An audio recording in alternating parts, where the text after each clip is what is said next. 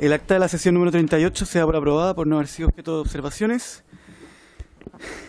El acta de la sesión número 39 queda a disposición de los señores, de las señoras y señores diputados. La señora secretaria de la comisión dará lectura a la cuenta.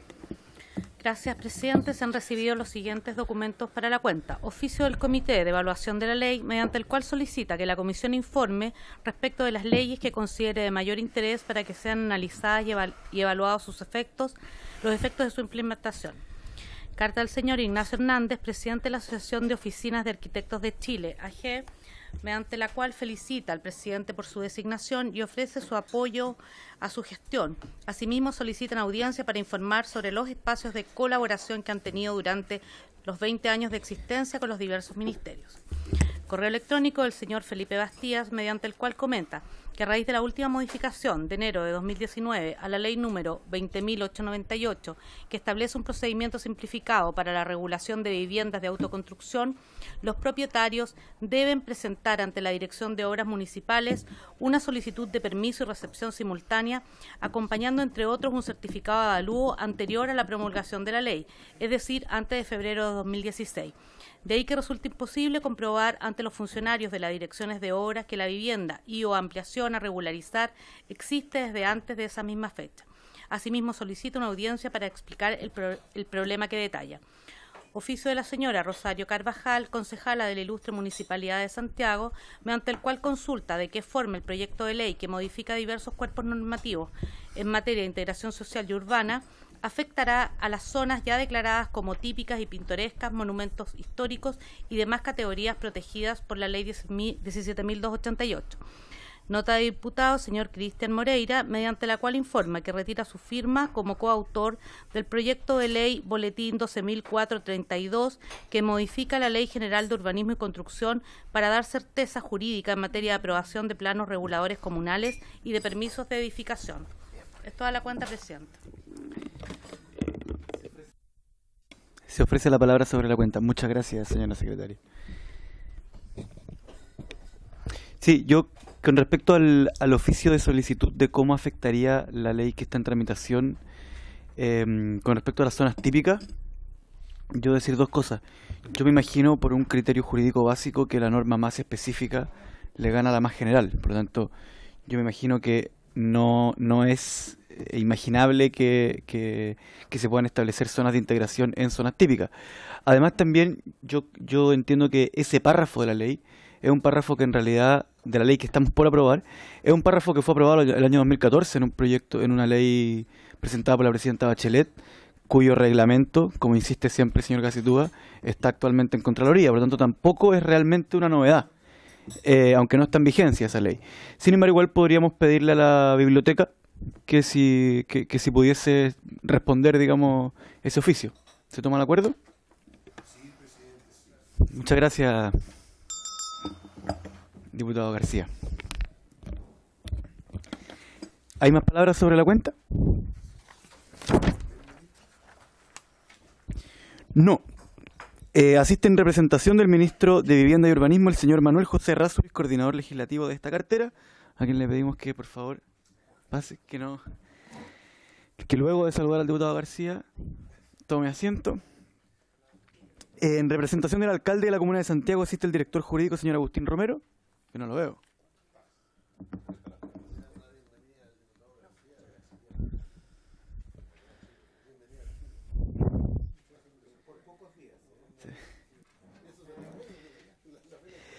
Asiste también el señor Walter Imilán, investigador y director alterno del núcleo Milenio, Movilidades y Territorios. ¿Está don Walter? ¿Y confirmó asistencia?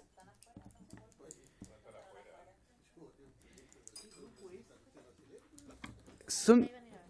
Sí.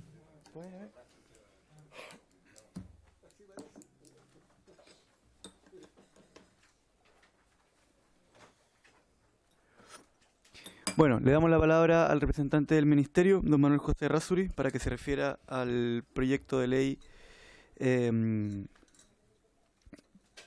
de arriendo y subarriendo y subarrendamiento que sanciona los casos en que sea abusivos correspondiente al boletín número 12.145-14. Por favor. Gracias, señor presidente. su intermedio, saludar a todos los miembros de esta honorable comisión. Em, el problema que se genera con los eh, llamados arriendo y subarriendo abusivo y el hacinamiento es algo que ha sido preocupación de esta comisión y también la Comisión de Vivienda del Senado, eh, lo cual nos han citado también a exponer.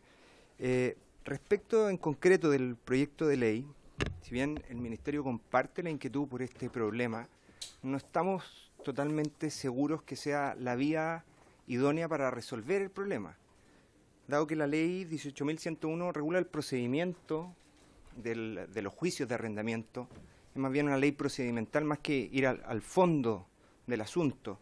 Eh, el, problema, eh, creemos, se soluciona más bien por la vía reglamentaria, a través de eh, regular de una forma más actualizada o acorde con la problemática actual las normas sanitarias, particularmente que se ven presentes en estos casos, porque la ley de arrendamiento de predios urbanos eh, dice relación, como decía, con los procedimientos. Se puede establecer ahí una figura como la que se pretende, que es determinar cuál es eh, un arriendo abusivo en determinadas condiciones, establece la ley una fórmula, pero vemos con cierta inquietud que se asimila mucho a eso una fijación de precio, es una forma de fijar un precio al arrendamiento. Entonces, ¿cómo establecer mediante una ley eh, un monto, una, figura específica que pueda atacar a todos los casos de subarriendo, cuando en realidad pareciera que la problemática dice relación con casos en que eh, inmuebles que no cuentan con las condiciones sanitarias necesarias se están utilizando con esa finalidad. Por ejemplo, eh, se utilizan CITES o viviendas de gran extensión que se subdividen y con esto eh, no está regulado precisamente la ley de arrendamiento, pero se podría establecer de forma reglamentaria la cantidad de ocupantes que puede tener, eh, las condiciones mínimas, la exigencia de baño, es algo que podría asimilarse hoy día a lo que es el arrendamiento o, más bien el hospedaje, alojamiento en, hoteles. Hay un reglamento del Ministerio de Salud que establece condiciones específicas para los eh, alojamientos en hoteles y, similares, establecimientos similares, creo que dice el reglamento. En ese sentido, estimamos que puede ser pertinente buscar una vía reglamentaria. Por otra parte, se establece en este proyecto de ley la eh, intención de modificar el artículo 142 de la Ley General de Urbanismo y Construcciones y nos parece que tiene, entendemos la inspiración de eso, pero creemos que esa norma podría estar eh, no ser la adecuada para eh, atacar la problemática, toda vez que se pretende modificar el artículo 142, que es el que se refiere a las obras que se encuentran en construcción, y debiera ser más bien el 145 que habla de que una obra no podrá ser utilizada o habitada una vez que cuente con la recepción definitiva. Concederle el auxilio a la fuerza pública, como pretende el proyecto de ley, a los funcionarios municipales para que fiscalicen las obras que se encuentran en ejecución, no parece atacar lo que pretende el proyecto de ley, toda vez que evidentemente, o es muy probable más bien, que esas obras en construcción no estén del todo habitadas. Y lo que se quiere regular es precisamente las obras que tengan recepción definitiva y que estén siendo utilizadas de una forma eh, abusiva o generando la condición de hacinamiento.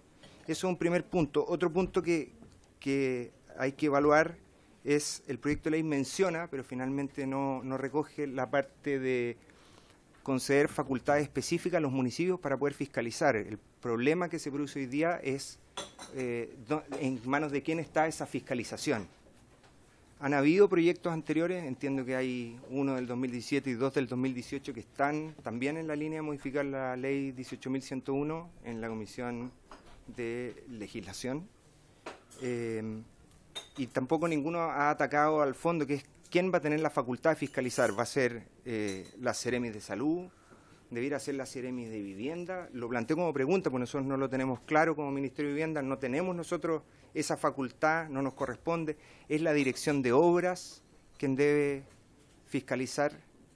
Eh, lo planteamos como un interrogante que eh, no tenemos resuelta. Eso, si bien entendemos que la, la intención que tiene el proyecto y estamos de acuerdo con que es algo que se debe regular, porque hoy día se ha generado un problema con los hacinamientos, sobre todo en la población migrante, no estamos seguros que este sea el camino idóneo. Como dije, eh, creemos que se puede hacer por vía de reglamento eh, interministerial, a lo mejor ponernos de acuerdo entre los distintos ministerios, quién tiene facultades y en quién recae esa obligación. Eh, eso preliminarmente. Muchas gracias. la palabra a los señores y señoras diputados? Diputado. ¿Viene alguno otro de los invitados, señor presidente? Que antes de emitir una opinión me habría gustado ver si vienen los otros invitados. Ya, pero bueno, todo...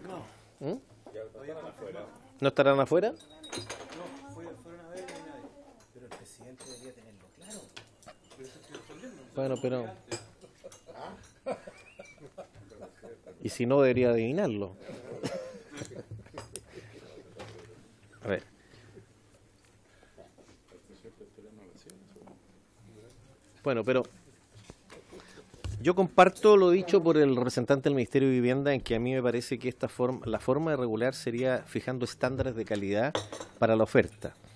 Me explico, o sea, si una persona pretende subarrendar por, por dormitorio una vivienda, lo correcto sería establecer cuáles son los estándares de calidad que esa vivienda que ha sido subdividida o va a ser subarrendada por departamento debe prestar en materia sobre todo de instalaciones sanitarias eléctricas.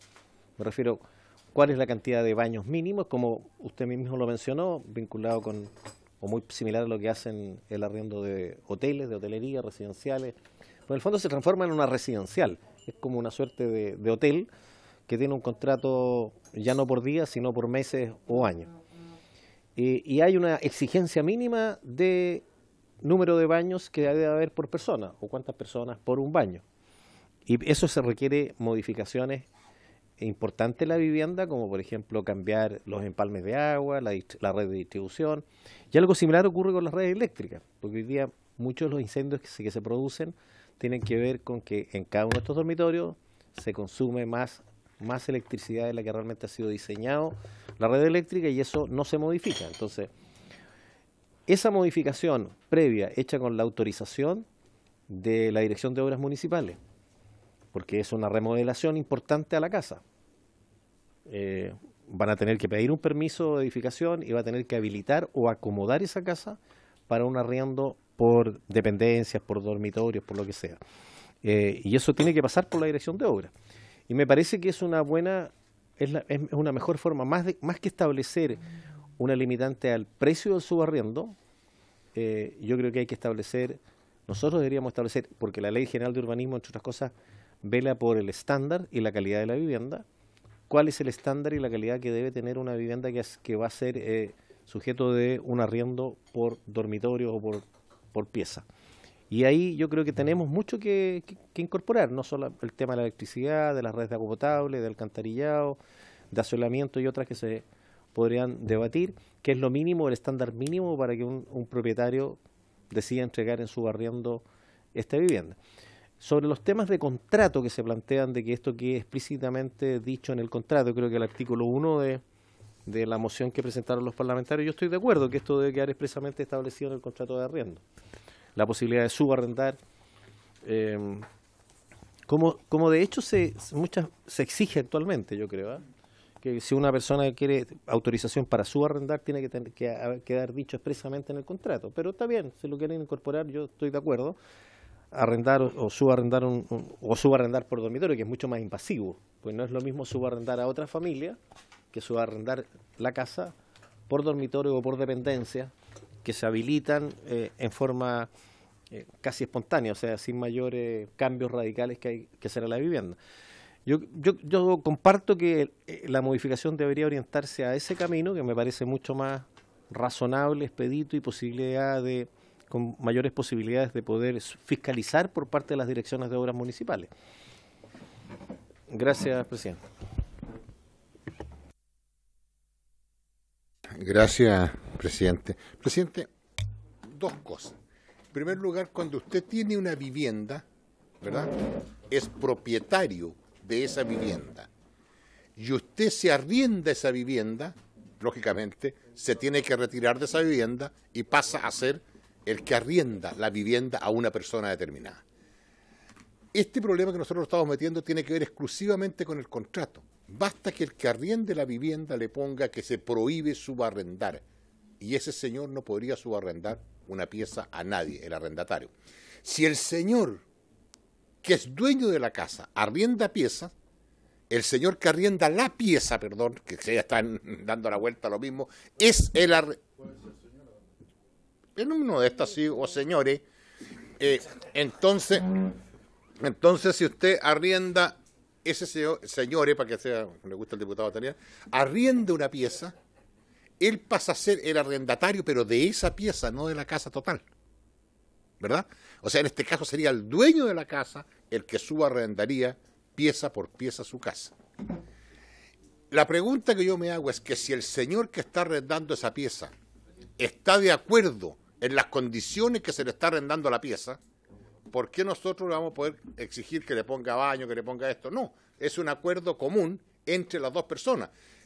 Esta cosa lo digo por una razón muy simple. Si puedes pedirle lo que quiera, pero el arriendo no va a hacer lo que está buscando la persona de, que va a hacer 50 mil pesos, va a hacer 200, 300, 300 mil pesos, según lo que quiera que le ponga a este señor. Entonces, ¿cómo nosotros nos metemos a ver un arriendo que es absolutamente privado? El señor arrienda dice, ¿qué pasa si pone el arriendo? Arriendo pieza con baño común. Y el señor que firma el contrato está de acuerdo en esas condiciones.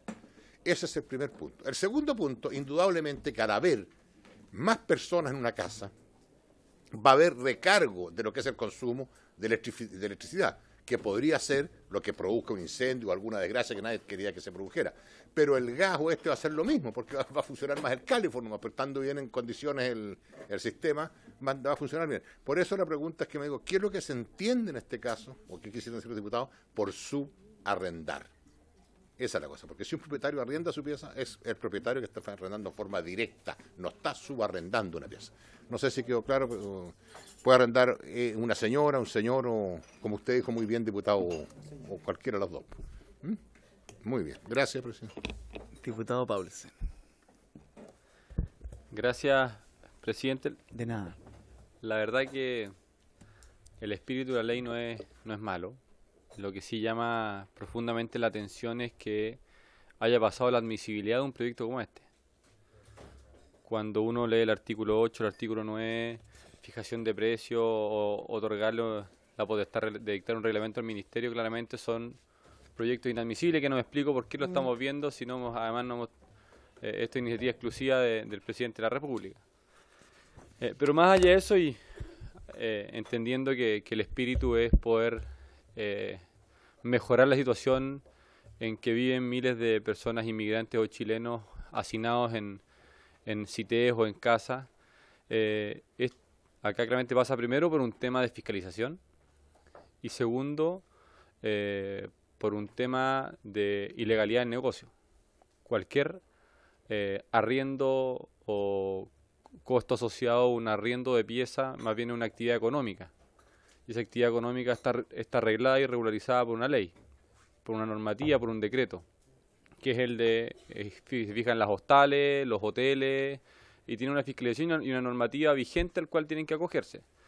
Eh, entonces, si nos vamos al, fondo del, problema propiamente tal, acá tendríamos que ver cómo podemos fiscalizar de mejor manera para que los arriendos, los subarriendos, queda lo mismo, porque el subarriendo se entiende que es una figura legal establecida en los contratos, eh, no, no contravengan la normativa legal ya vigente a una actividad económica que es el arriendo de piezas eh, a través de hostales o un hotel que tiene que cumplir además con requisitos establecidos. Entonces, eh, yo le quiero pedir, presidente, dos cosas. Yo sé que usted es parte de, este proyecto.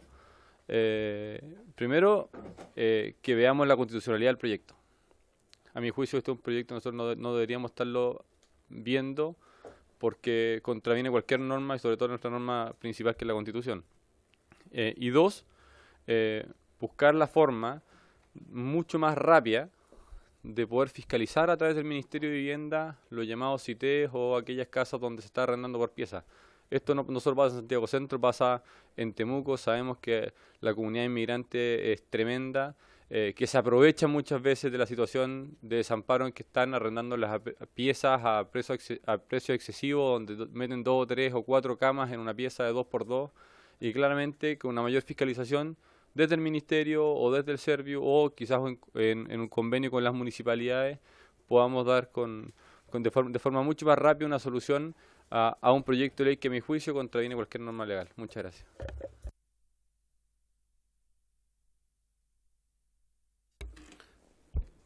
Presidente, eh,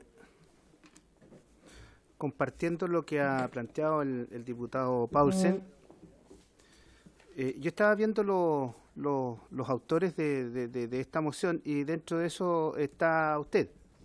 Entonces, yo le preguntaría eh, directamente eh, a usted, presidente, eh, en relación a lo siguiente. Yo creo que el artículo número 7 que se, que se menciona acá es un artículo total y absolutamente redundante, porque aquí se deja la impresión de que no existe ya un,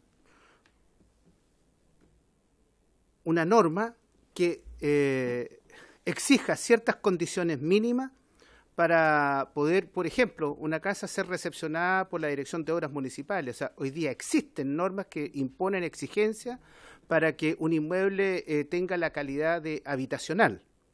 Entonces, si existe esa norma, eh, yo creo que este artículo en particular vendría a estar total y absolutamente de más.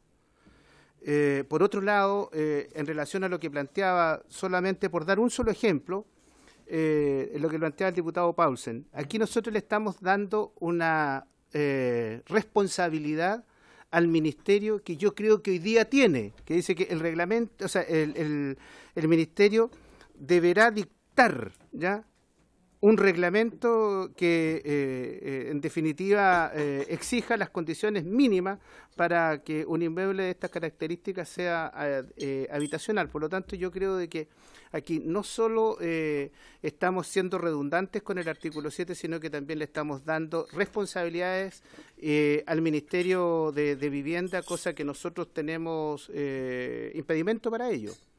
Entonces, desde el punto de vista de la admisibilidad, yo creo que este proyecto es inadmisible y por otro lado creo que a la vez es redundante. Entonces, a mí me gustaría que por favor nos explicara, por lo menos, presidente, usted el artículo número 7.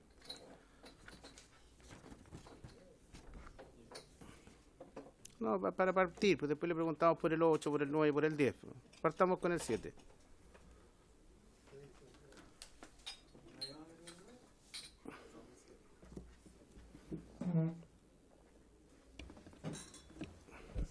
No, a ver.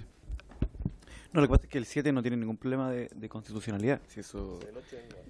Eso son el 8. Sí, sí, no, sí yo, entiendo. Lo que pasa es que la secretaria me estaba soplando que el, que el 7 sí es admisible, pero claro, no es eso lo que usted está sacando. A ver, lo que se pretende en este proyecto, que atiende a una realidad y a una realidad dramática que se está viviendo en determinadas comunas, que sabemos que no son la mayoría de las comunas del país, pero que, pero que se está viviendo sobre todo en comunas centrales de ciudades grandes, tiene que ver, como hemos explicado en otras ocasiones, con incendios, tal como se ha dicho acá, y con situaciones eh, extremadamente abusivas de personas que por determinadas circunstancias no pueden eh, firmar contratos de manera regular.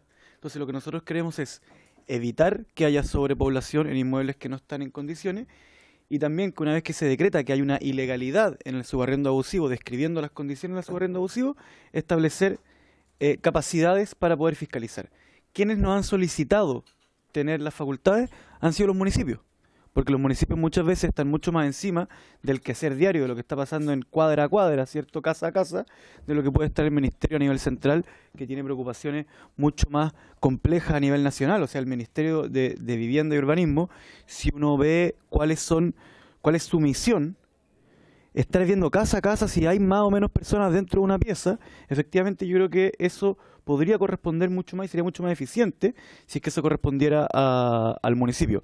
Tanto así que la persona que nos ha pedido que encontremos la forma de darle facultades es el alcalde Felipe Alessandri, quien es uno de los convocantes a, a poder establecer este proyecto. Y con respecto al artículo 7 específicamente, el punto es que, claro, uno podría decir, oye, pero si para poder hacer habitable un lugar tiene, tiene que cumplir con las reglas. Lo que nosotros estamos diciendo es que si no estuviera cumpliendo con las reglas, entonces se activa, o sea, entra en la definición de subarriendo abusivo y por lo tanto se activan las facultades de fiscalización que se están proponiendo en el mismo proyecto. Entonces, el artículo 7, efectivamente puesto así, uno podría leerlo y decir, ¿cómo? Pero está diciendo que, todo cumpla con las reglas y todo en el país tiene que cumplir con las reglas. Pero se entiende una vez que uno lee el artículo en donde se establecen facultades de fiscalización, porque se está diciendo que si no se estuviese cumpliendo, entonces se activa lo que se está proponiendo en el proyecto. Eso con respecto al artículo 7. Con respecto a la fijación, a, a lo que se ha llamado aquí fijación de precio, yo creo que no hay una fijación de precio. Yo creo que lo que hay es una aplicación al caso del contrato de arriendo de la figura de la lesión enorme que es tratada incluso en, en parte de la doctrina como uno más de los vicios de la voluntad y todos los códigos civiles, digamos, que, que, que derivan del, del derecho, ¿cómo? Del derecho romano y de, y de, su expresión francesa reconocen los vicios de la voluntad y la lesión enorme. Así que yo creo que ahí no hay ninguna ninguna innovación tan descabellada. Si en el fondo lo que estamos haciendo es buscar la forma de que se nos dejen de quemar las casas del centro. Eso es. Ah, yo quiero, yo quiero dejar en claro que eh, estoy total y absolutamente claro con el problema que existe y por cierto que tenemos que tratar de buscar algunas herramientas que permitan resolverlo pero creo que este proyecto no es la herramienta que nos va a permitir resolver el problema, porque de acuerdo a lo que acaba de plantear usted, presidente, eh, aquí se le estarían dando atribuciones a los municipios para que fiscalicen. El fiscalizar, el fiscalizar implica personal y eh, al disponer de más personal necesitamos de recursos para financiarlo. Por lo tanto, es un elemento es un elemento más que yo creo que contribuye a que este proyecto sea inadmisible. Y, yo me quedo con la opinión que ha dado el Ejecutivo y creo que hay que buscar alguna solución, pero creo que este proyecto definitivamente no es la alternativa.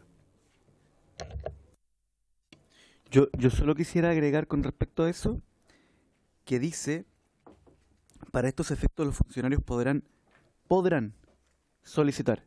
Por lo tanto, no le estamos otorgando una responsabilidad le estamos otorgando la facultad de poder hacerlo. Por lo tanto, no, no quedan compelidos en, en, nueva, en nuevas obligaciones. Y ahí, te, digamos, tendrá la facultad cada municipio de decidir cómo quiere ejercer ese, esa facultad que le estamos otorgando, pero no le estamos otorgando una responsabilidad.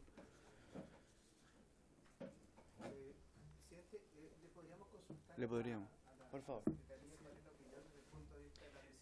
El diputado Calisto había pedido la palabra. ¿Quiere antes o después?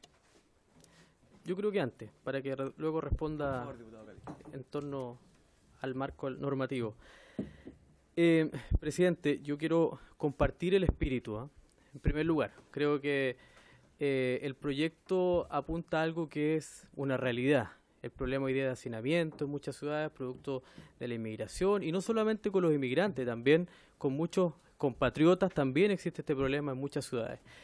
Eh, pero yo siento que hoy día están las condiciones para ejercer esta fiscalización. Eh, nosotros debiésemos partir por solicitar un contrato de arriendo. O sea, las partes me imagino que eh, tendrán un contrato de arriendo y si eso no existe, son elementos para poder fiscalizar.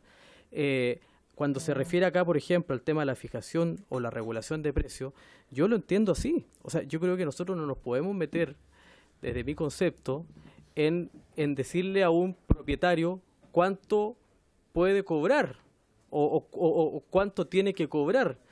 Eh, yo siento que eh, esto eh, escapa de nuestras atribuciones absolutamente, pero compartiendo el espíritu, yo quiero pedirle que podamos darle una vuelta al proyecto para a lo mejor revisarlo, complementarlo, mejorarlo, ajustarlo, de manera que pueda ser discutido en el marco de la ley y, y por supuesto y cumplir el objetivo que usted plantea desde el inicio pero yo realmente hay algunos puntos que a mí en lo personal me hacen mucho ruido eh, particularmente lo que se refiere a la regulación eh, de precios. Tenemos que ver por ejemplo cómo fiscalizamos que esta actividad económica eh, o sea esté regularizada que se es decir que se, se está boleteando aquí. Hay que regular la actividad económica en definitiva.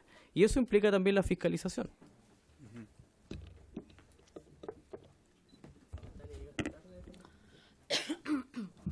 efectivamente, en mi opinión, el, inciso segundo del artículo 8 es inadmisible. En relación con el artículo 65, número 2 de la Constitución, que declara como iniciativa exclusiva del presidente de la República el otorgar funciones a los servicios públicos, en este caso el Ministerio de Vivienda y Urbanismo. Esa norma sí que es inadmisible. En mi opinión es inadmisible. El 8.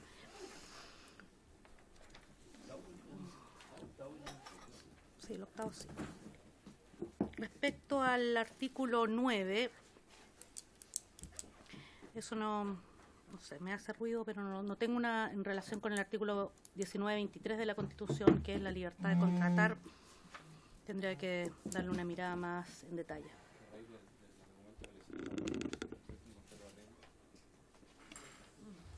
O sea, El 19-23.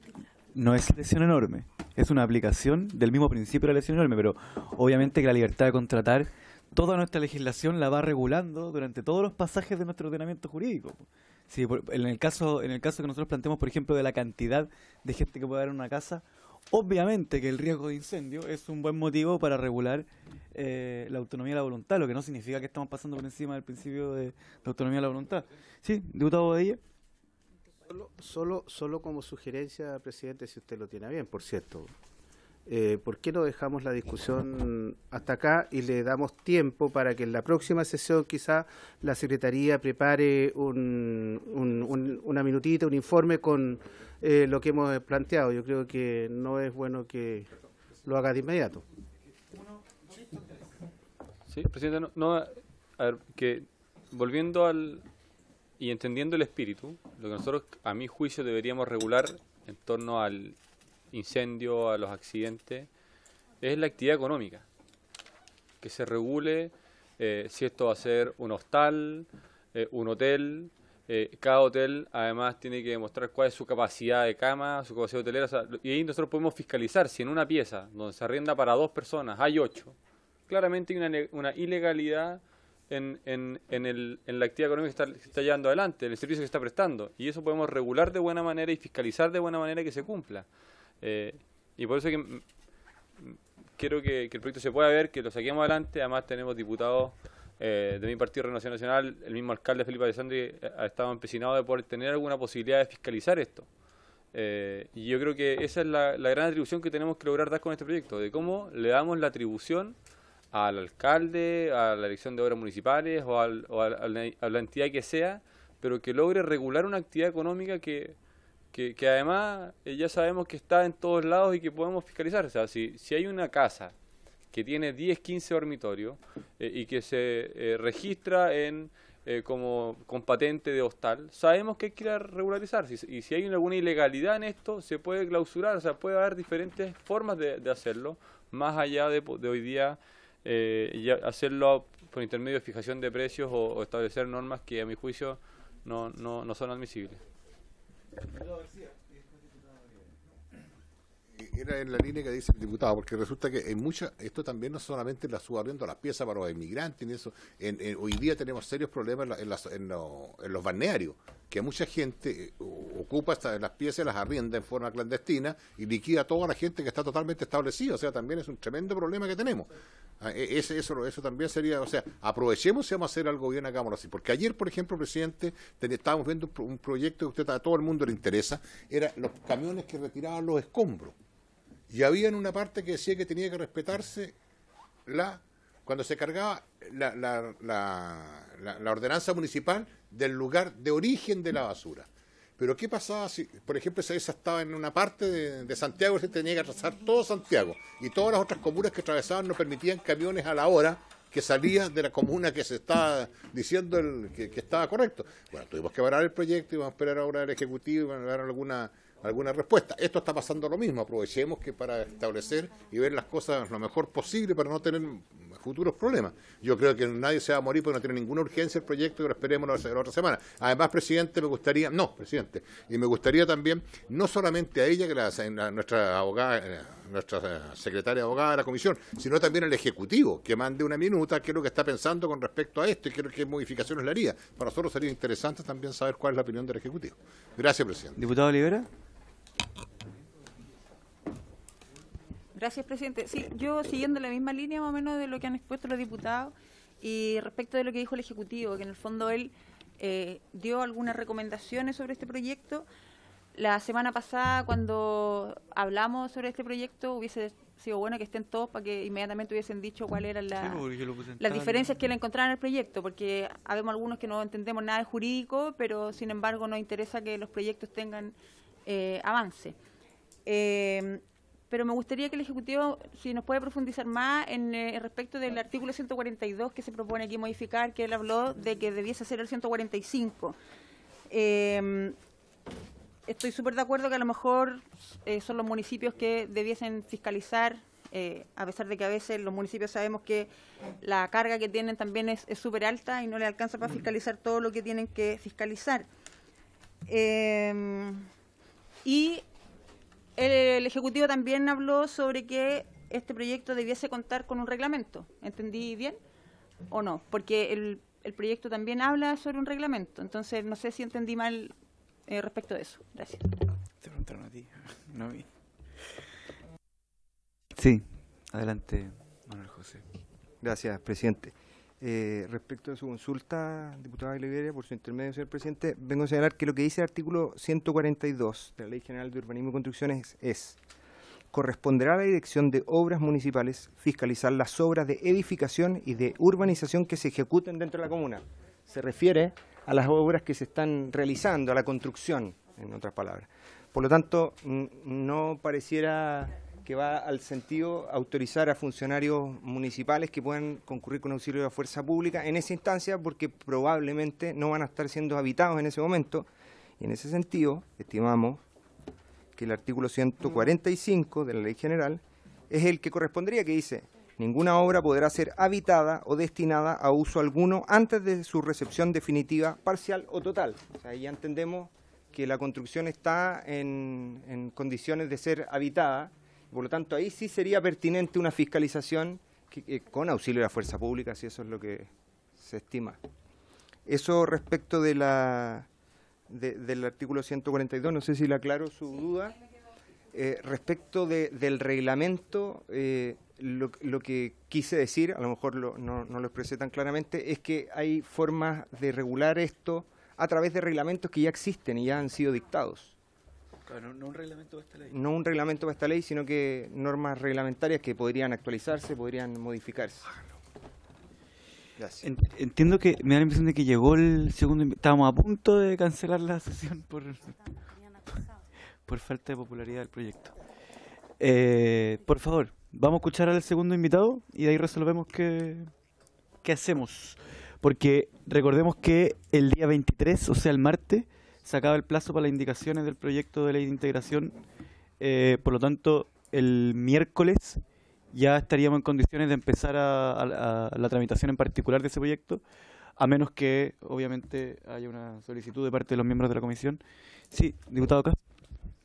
Respecto a lo mismo, presidente, em, quizás eh, solicitar una prórroga en, la, en, en el plazo para las indicaciones. Yo no sé si, eh, por, el- por el tema de las urgencias, obviamente que es algo que Sí. tiene que, que administrarlo usted eh, en conjunto con el Ejecutivo, pero, pero yo creo que eh, se, hace- se viene la semana distrital, eh, los, plazos, los plazos también acotados eh, y ojalá solicitar, no sé, una prórroga de dos semanas al menos para poder, o una semana, si fuera Ujú. posible, para poder incorporar indicaciones. Bueno, primero darle la bienvenida a don Walter a la comisión. Eh, yo no sé si lo vemos después. Yo no tendría problema. O sea, creo que tenemos un compromiso con el gobierno. Si el gobierno nos diera el visto bueno, yo no tendría problema. Eh, y obviamente con la unanimidad del...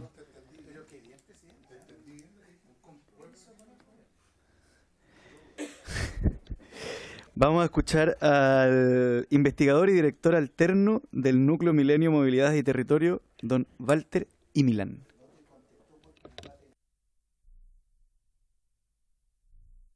Aló, aló. Bueno,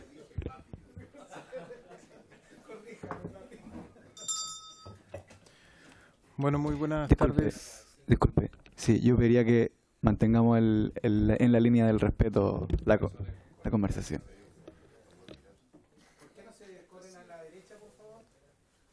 Pido por favor que si pueden bajar la bajar la luz. No, pero se ve bien. Ahí se-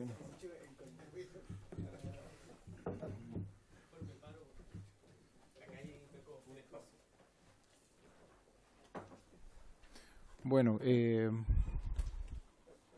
¿puedo partir? Bueno, muy buenas tardes a todas y todos. Eh, mi nombre es Walter y Milán. Yo trabajo en el, soy el director alterno del Núcleo Milenio de Movilidades y Territorios. Trabajo en, el, la Universidad Central, en el Centro de Estudios Urbanísticos, eh, Arquitectónico Urbanístico del Paisaje y también en el Instituto de la Vivienda de la Universidad de Chile. Eh, desde hace bastante tiempo que trabajo en temas vinculados con vivienda, desde de una perspectiva, como se dice hoy en día, más, más allá de la vivienda como un objeto arquitectónico, más bien la vivienda como proceso, más bien los procesos de habitar. Y en eso, bueno, he, tenido la posibilidad de desarrollar distintos proyectos de investigación.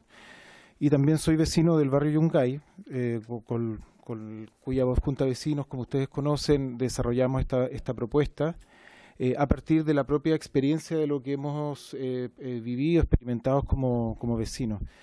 Em, bueno, llegamos un poco a la situación que teníamos a las cuatro y media, pero vinimos escuchando las discusiones anteriores. Yo había preparado una presentación, pero voy a ser muy rápido para no eh, para tratar de vincular lo que, digamos, mi, mi, mi conversación con lo que ustedes están conversando. Eh, creo que ya es bastante claro cuál es el contexto de, de esta, de esta propuesta. Eh, el tema de los incendios, de hecho ese fue el incendio en Yungay que fue uno de los, de los impulsores a que eh, nos motivó ¿verdad? a trabajar en esta propuesta. Eh, y aquí vemos otras, ustedes conocen que se han generado una serie de incendios justamente por las condiciones de habitabilidad en distintos inmuebles en Santiago y en regiones. Este es el de un inmueble que se encuentra en Estación Central del año 2017, donde habían cerca de 40 habitaciones las cuales se arrendaban. Eh, estas habitaciones, el dueño del inmueble era quien arrendaba estas habitaciones. Eh, bueno, y aquí hay algunas fotografías del interior antes del incendio, en condiciones bastante precarias. Probablemente ustedes conocen estas imágenes. Eh, pues, pro problemas, ¿verdad?, de, de, instalaciones, áreas comunes, ¿verdad?, etcétera. Eh, en esta misma zona, en, una, en, en la misma eh, eh, comuna de, Estación Central, eh, anterior al censo se hizo un registro en la manzana 30, el distrito censal número 5, donde hay viviendas de autoconstrucción, en su mayoría desde la década de 1940, donde la municipalidad sabía que había mucha vi vivienda en, en, arriendo y subarriendo. Eh, habitaciones en arriendo y subarriendo. Y se hizo un catastro de en esta, man, en este, en esta manzana se encontraron 97 viviendas que tenían desde 4, desde 2 hasta 20 habitaciones para arriendo. Y a propósito de lo que se estaba conversando respecto a la fiscalización, de estas 97 viviendas solo 13 contaban con recepción final. Recepciones finales que eran desde el año 2002, 2004, probablemente anteriores incluso que se utilizaran como eh, ¿verdad? espacios de, arriendo. Por lo tanto, eh, hay, hay, una dificultad que es real con el tema de la fiscalización, eso lo sabemos, ¿verdad? Que el tema de la, eh, de la regularización eh, bajo los estándares de la Ley General de Urbanismo y Construcción es bastante bajo. Eh, y en este caso lo demuestra. Si solo 13 viviendas se encontraban con recepción final, probablemente recepciones finales anteriores, ¿verdad?, a que se empezaran a utilizar como inmuebles para el arriendo masivo. Entonces, ahí hay un tema que es, que es fundamental discutir respecto al problema de la fiscalización. Eh, de hecho, aquí hay una, una denuncia, un reclamo de algunos vecinos de la misma comuna de Estación Central, donde lo plantean este reclamo de arriendo abusivo y bajo condición de habitabilidad al municipio, pero el municipio tampoco cuenta con los mecanismos o los protocolos para poder eh, encauzar estas denuncias. De hecho, el, primer, aquí los, cuatro arrendatarios de este inmueble firman un, un, una denuncia, un reclamo en conjunto. El primero que aparece ahí es un arrendatario chileno, y el la segunda que aparece en esta hoja es una arrendataria de origen haitiano. Es decir, esto tampoco no es un problema que está, a, ¿verdad?, eh, eh, con un foco solo con la población migrante, sino también hay un porcentaje importante de población chilena en condiciones de vulnerabilidad que está experimentando esta situación. Pero en, y aquí hay dos situaciones que son distintas, que creo que algo están también comentando sobre um, el tema del, de, de, la actividad comercial. Aquí hay personas, como el caso anterior, que eran dueños del inmueble que lo subarrendaban, que son dueños, ¿verdad?, de una vivienda que arrendan, eh, de, de, arrendan piezas, y, pero también hay un empresarialismo abusivo, y eso también ustedes lo conocen, de gente, sociedades eh, con actividad comercial que construyen en predios que no tienen esos usos. Por ejemplo, este predio se encuentra en la comuna de Quilicura, este es un taller mecánico de buses, y vemos todo el conjunto, cerca de 60 habitaciones para el arriendo se construyeron en, esa, en, esa, en, ese predio. Aquí llegó la fiscalización porque hubo, ¿verdad? hubo unas denuncias por, por, por ruidos molestos y eso llevó a que los, los inspectores municipales fueran y verdad y encontraran este tipo de construcciones esto no está regularizado esto no tiene verdad ningún tipo de, recepción final bueno y ahí están como las algunos de los elementos de entonces básicamente lo que el problema lo que nosotros planteamos en, en, en la propuesta era buscar las fórmulas de la cumplimiento de la ley, ¿verdad? Es decir, el tema de las regularizaciones que es fundamental, que hoy en día no sé si el ministerio tiene estudios sobre eso, pero cuántos de los de las viviendas o predios se encuentran en estado de no regular. Em, el tema de la fiscalización, ¿verdad? Que es fundamental cómo llevarlo a cabo, eh, siempre y cuando, y en los municipios lo han planteado así, muchos alcaldes lo han planteado en el municipio de Santiago, Estación Central e Independencia, que si ellos fiscalizan, eso significa que van a, eh, va a significar que lanzar a, a los arrendatarios o a los subarrendatarios a la calle, y eso por supuesto que genera una situación social bastante compleja. Y lo tercero tiene que ver con los precios, ¿verdad? Que tiene que ver con los precios abusivos. Y aquí yo quisiera, eh, aprovechando un poco la conversación que se estaba planteando, que em, nosotros también sugerimos, eh, así como aumentar en la fiscalización, también generar mecanismos de, digamos, que incentiven o que apoyen, porque esto es una realidad que em, aparentemente en el país va a ir creciendo. Así como se pensó hace 15 años atrás que los campamentos, los asentamientos informales iban en descenso en el país. Acuérdense que cuando surge el techo para Chile en la década del 90, su proyección era que el, año 2010 no iban a haber campamentos en Chile. Bueno, la pregunta es que algo sucedió, que ahora volvemos a tener un nuevo impulso de generación de campamentos que son muy distintos a los campamentos de la década del 80, del 70, de lo que se conocía históricamente. Entonces, eso también implica eh, entender de que aquí el, acceso a la vivienda, lo que significa el acceso a, la vivienda, ha cambiado significativamente en los últimos años. Eh, el, fenómeno de los campamentos no es ese fenómeno de, de solo de la exclusión como una especie de ciudad paralela que se concebía así en la década del 60 o 70. De hecho, había teorías de la marginalidad que hablaban de que el campamento era un espacio paralelo al resto de la ciudad formal. Hoy en día lo que nosotros hemos visto en muchos muchos proyectos de investigación, yo estuve, estuve trabajando en Altos Pisos, en Ciudad del Norte, es que hay una integración entre lo que son el acceso a las viviendas, los campamentos, arriendos abusivos, subarriendos abusivos, acceso a, subsidios, viviendas subsidiadas, etcétera. Es decir, aquí la forma, las estrategias de acceso a la vivienda han cambiado bastante, eh, de forma bastante importante en los últimos 10 años. Y en ese contexto, el arriendo de habitaciones, eh, parece que es un mecanismo masivo que llegó para quedarse. Solo recordar de que de hecho las políticas de vivienda en Chile surgen como una forma de terminar con el arriendo de habitaciones, ¿verdad? Las primeras políticas de vivienda tienen, o políticas habitacionales tienen que ver con el arriendo abusivo de, piezas, ¿verdad? Esa es la primera ley que se hace en función como de política habitacional. Resulta que 100 años después volvemos a tener este mismo fenómeno, pero hay que tratar de entender cuáles son las cualidades actuales de ese fenómeno. Entonces, en ese contexto, yo creo que eh, plantear la idea de generar incentivos como de subsidios para que puedan eh, ser una, estrategia con mayores niveles de dignidad, no solo de dignidad, sino que también de condición de habitabilidad, es una posibilidad.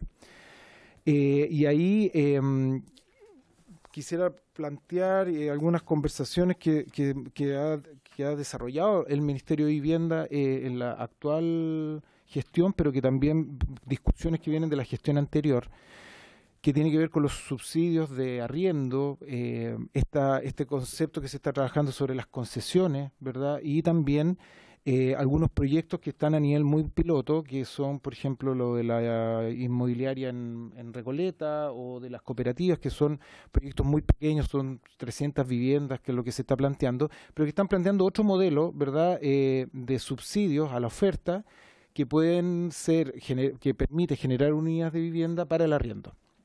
Entonces, eso ya se está discutiendo y se está discutiendo hace bastante tiempo, no es algo solo que venga de este, del actual gobierno, del gobierno anterior, algo de eso también está en, en, en, la Política Nacional de Desarrollo Urbano. Entonces, la idea de cómo ver esta, esta posibilidad de generar eh, apoyo eh, que permita a su vez la fiscalización y generar estándares de habitabilidad para el arriendo de piezas es, un tema eh, muy relevante. No obstante, siempre habría que considerar de que aquí estamos hablando de un, por lo menos de un escenario donde hay dos grandes corrientes. Una que es el arriendo de piezas de personas que son los dueños de los inmuebles y que una, una señora mayor o, o una familia que está en un inmueble antiguo, eh, ¿verdad? Y que arrienda dos, tres, cuatro piezas que ya están dentro del inmueble, a la diferencia de cuando esto se transforma en una actividad comercial eh, claramente lucrativa, como el caso del, del- del inmueble que les, que les mostré en Quilicura, que eso ya debería entrar en la lógica de los hospedajes. Es decir, eso requiere, eh, para eso efectivamente ya existe un- una normativa, eh, pero que habría que, que- el- buscar los mecanismos de fiscalización que no sean lesivos para las personas que están accediendo a este tipo de solución habitacional, ¿verdad? Que es de, que es de arriendo. Eso un poco como, como plantearles lo, que nosotros eh, hemos estado discutiendo. Nosotros no, lo vemos como una, una posibilidad, esta ley, o es la discusión que puede llevar esta ley para que eh, empezar a abrir eh, y apoyar otras formas de resolver el problema del acceso habitacional, que es un que es una, como les decía, es un campo que ha cambiado muchísimo en los últimos años, es decir, solo hay que ver las cifras de los campamentos, entender que eso no solo tiene que ver con la población migrante, esto tiene que ver con cómo están funcionando eh, los distintos mercados de vivienda y también cómo esto, porque lo- las viviendas no son cosas aisladas, cómo esto se articula con unas formas de vivir, ¿verdad? La ciudad, formas de trabajo, etcétera, que se están eh, articulando, ¿verdad? Con estos nuevos eh, accesos. Formas que son eh, el aumento de la precarización del trabajo, la movilidad de las personas, ¿verdad? Son elementos que han ido que juegan un rol importante en la conformación de este nuevo de estas nuevas formas de acceso a, vivienda. Eso como un poco pla- plantearle la- algunos elementos Muchas gracias, como- don Walter. Vamos a hacer una ronda de preguntas, pero luego de escuchar al tercer invitado, que es don Agustín Romero, el director jurídico de la Municipalidad de Santiago. Por favor.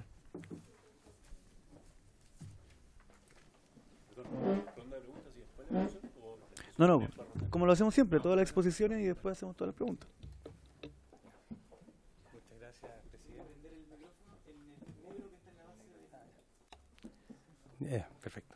Muchas gracias, presidente. Eh, envío las excusas al señor alcalde de Santiago, quien está en Consejo Municipal y por lo tanto, ante esta temática tan interesante y tan importante para los vecinos de la comuna, me pidió expresamente que asistiera en su representación.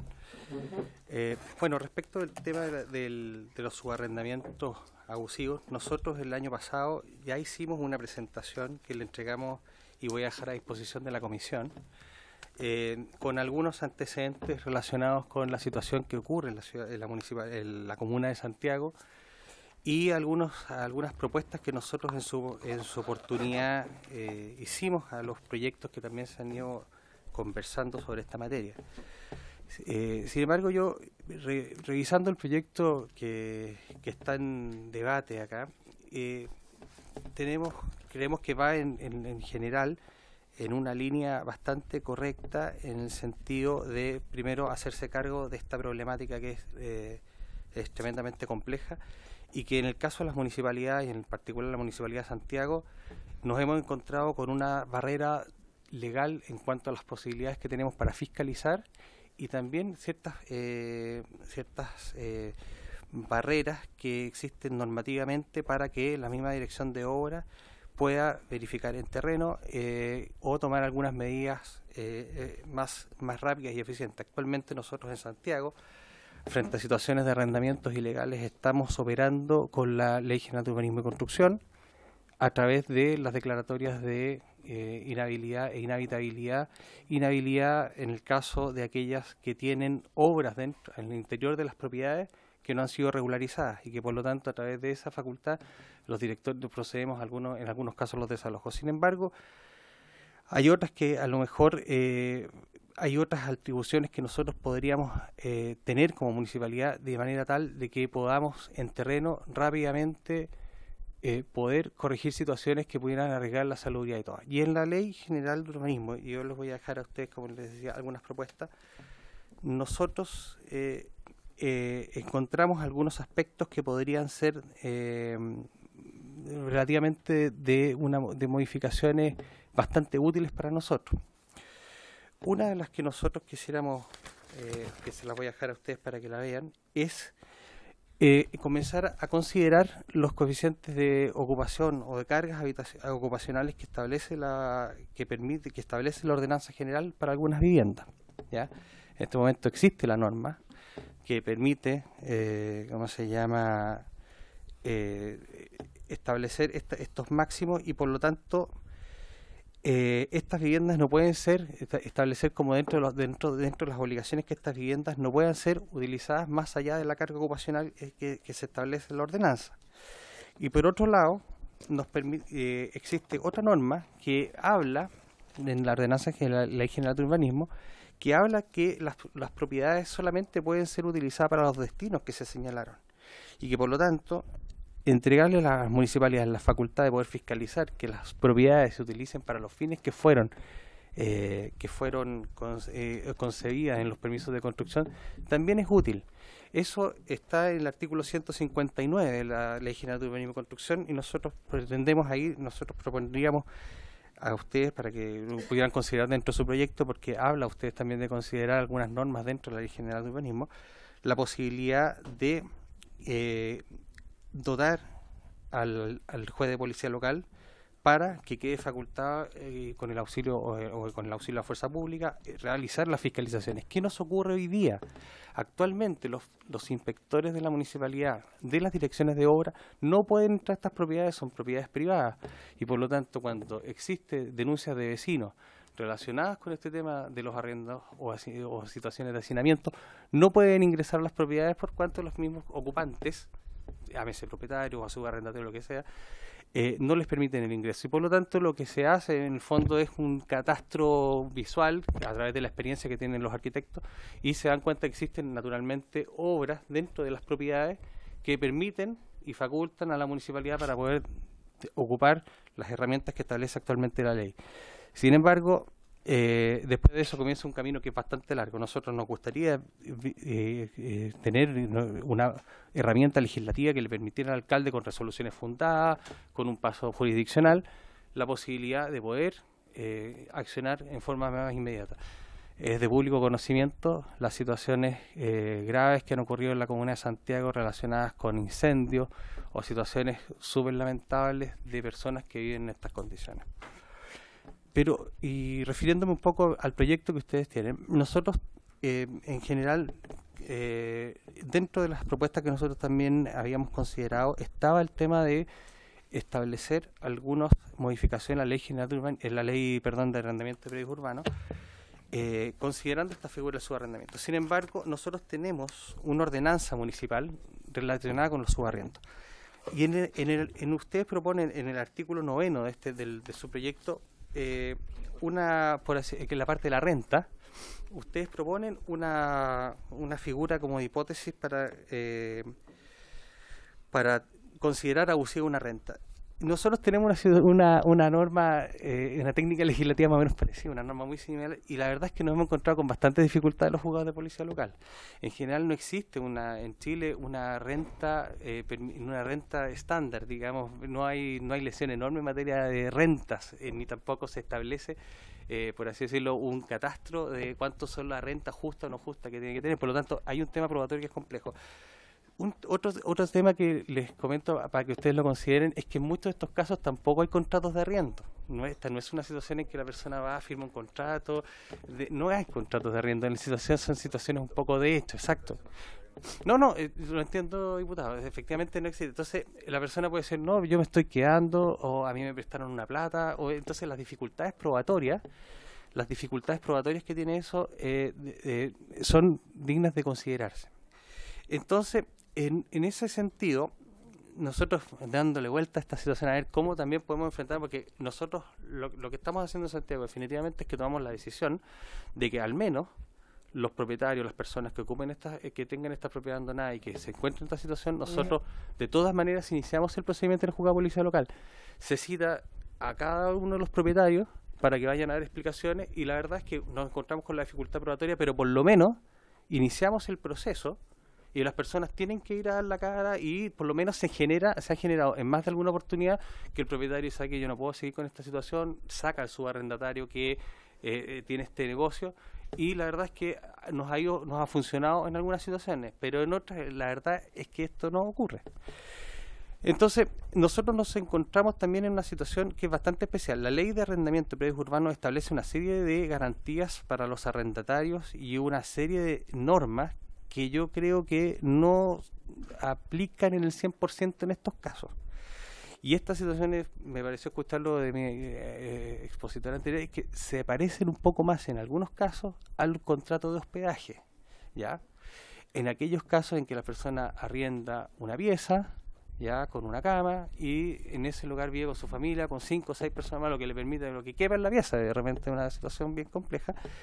Y en ese caso hay un, hay un decreto que es bastante antiguo, que es el 194 del 78, si mal no recuerdo, que establece una serie de condiciones que tienen que tener los establecimientos.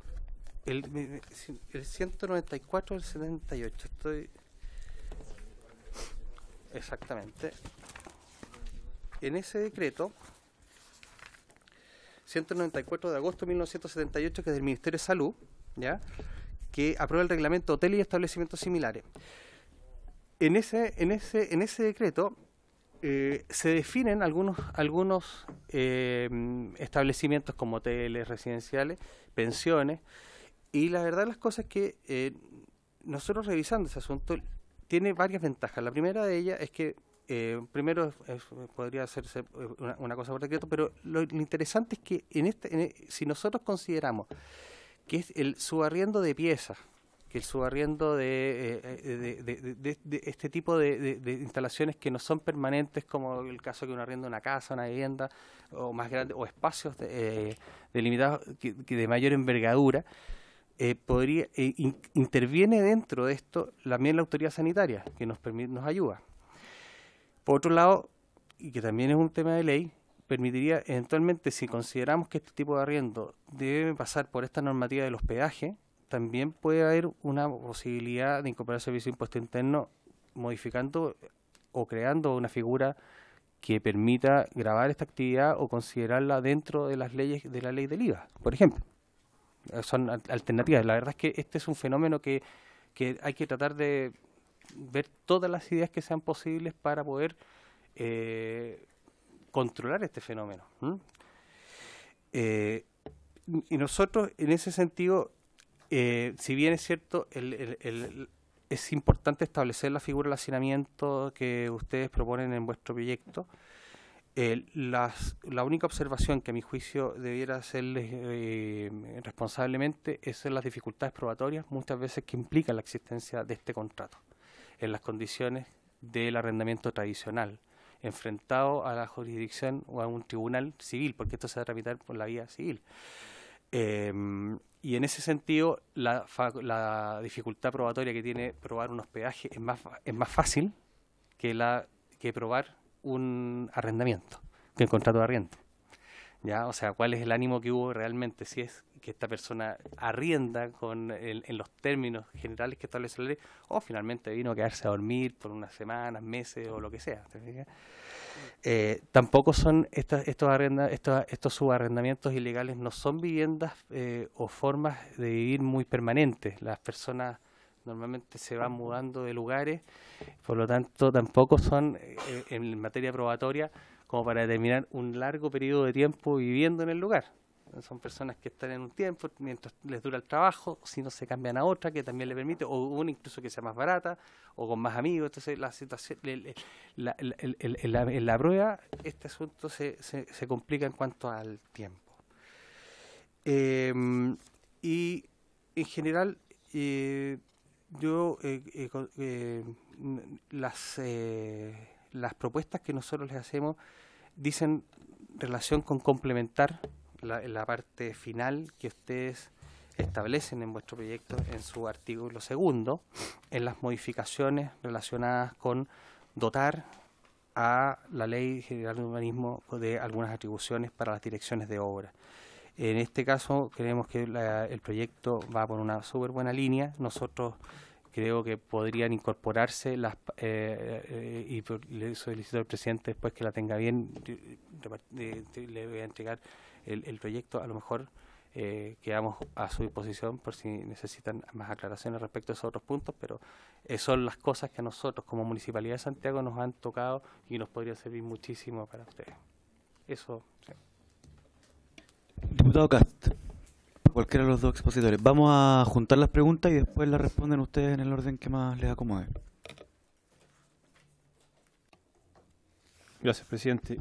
Yo quiero un poco redondear y, recopilar un poco todo lo que se ha planteado en, esta conversación, incluso anterior a las exposiciones que se han planteado ahora recientemente.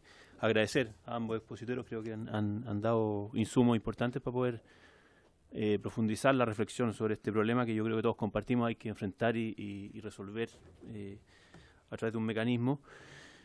Eh, yo creo que lo que ha quedado relativamente claro es que el problema del hacinamiento, que yo creo que es finalmente el problema profundo que queremos enfrentar, más allá de la creación de esta figura del subarrendamiento abusivo, que es una figura jurídica que se intenta crear, lo que, todos queremos combatir es el hacinamiento. Em, y hoy día las herramientas que hay para mm, fiscalizarlo y combatirlo en base a la, herramienta que existe, que es la, en el fondo cuando se transgreden normas urbanísticas por parte de la, municipalidad, es insuficiente. Y a su vez veo que la otra herramienta que existe, hoy día disponible de acuerdo a nuestra legislación, eh, tiene que ver con em, controlar eh, y fiscalizar aquellas actividades comerciales que se desarrollan en un determinado eh, lugar sin autorización, sin permiso, son los dos vetas que uno podría hoy día decir existen para poder hacer esta fiscalización. Y yo creo que la vuelta que se está planteando de, esta figura eh, de fijación de precios o de, o de cuando hay una transacción económica abusiva o la creación de esta figura, de esta figura jurídica de subarrendamiento abusivo en base a, la, a la cantidad de personas que están adentro, creo que es un camino más complejo de, justamente por el estándar probatorio y por todos los cambios que hay que hacer legislativos que se están proponiendo en estos artículos, va a ser una vuelta compleja. Y creo, me atrevo a sugerir, eh, y para eso quería un hacer la pregunta, ¿qué opinarían de que eh, simplemente acotáramos o limitáramos esto, considerando que esto también tiene alcances, en, por ejemplo, en las pequeñas localidades rurales, donde hay gente que arrienda una pieza o dos de forma esporádica y es una, y una cosa, un emprendimiento que yo trataría de no afectar con una legislación como esta, eh, definir un estándar de una cantidad, eh, eh, una cantidad, o sea, definir a través de una ley o de un, reglamento, la cantidad de unidades arrendables que podrían convertir a una, a una casa, a una vivienda, en una entidad, en una actividad comercial. Es decir, si una persona, por ejemplo, arriba más allá de cuatro o cinco unidades de, de arriendo que genere, y que desarrolle como actividad, esto la convierte automáticamente en una actividad comercial. Eh, y creo que si uno genera esa, esa, esa legislación de tal forma que quepa, al final la está haciendo caer en una actividad ilegítima, uno podría abrir el espacio de fiscalización para las municipalidades. Exactamente, como que después de una cierta cantidad de personas o de unidades de arrendamiento, esto automáticamente se está eh, convirtiendo por ley en una, en una actividad económica ilegítima. Entonces, y creo que eso subsanaría un poco eh, de raíz el problema. Eh, ahora no sé qué, normas habría que cambiar o qué legislación habría que cambiar, pero, pero me comprometo a estudiarlo y a, plantear eh, algo al respecto. Pero quería plantear la, opinión a ustedes. Si sería suficiente, si uno definiera un estándar sobre un número, y si existirían las herramientas suficientes para fiscalizar por parte de los municipios. Dos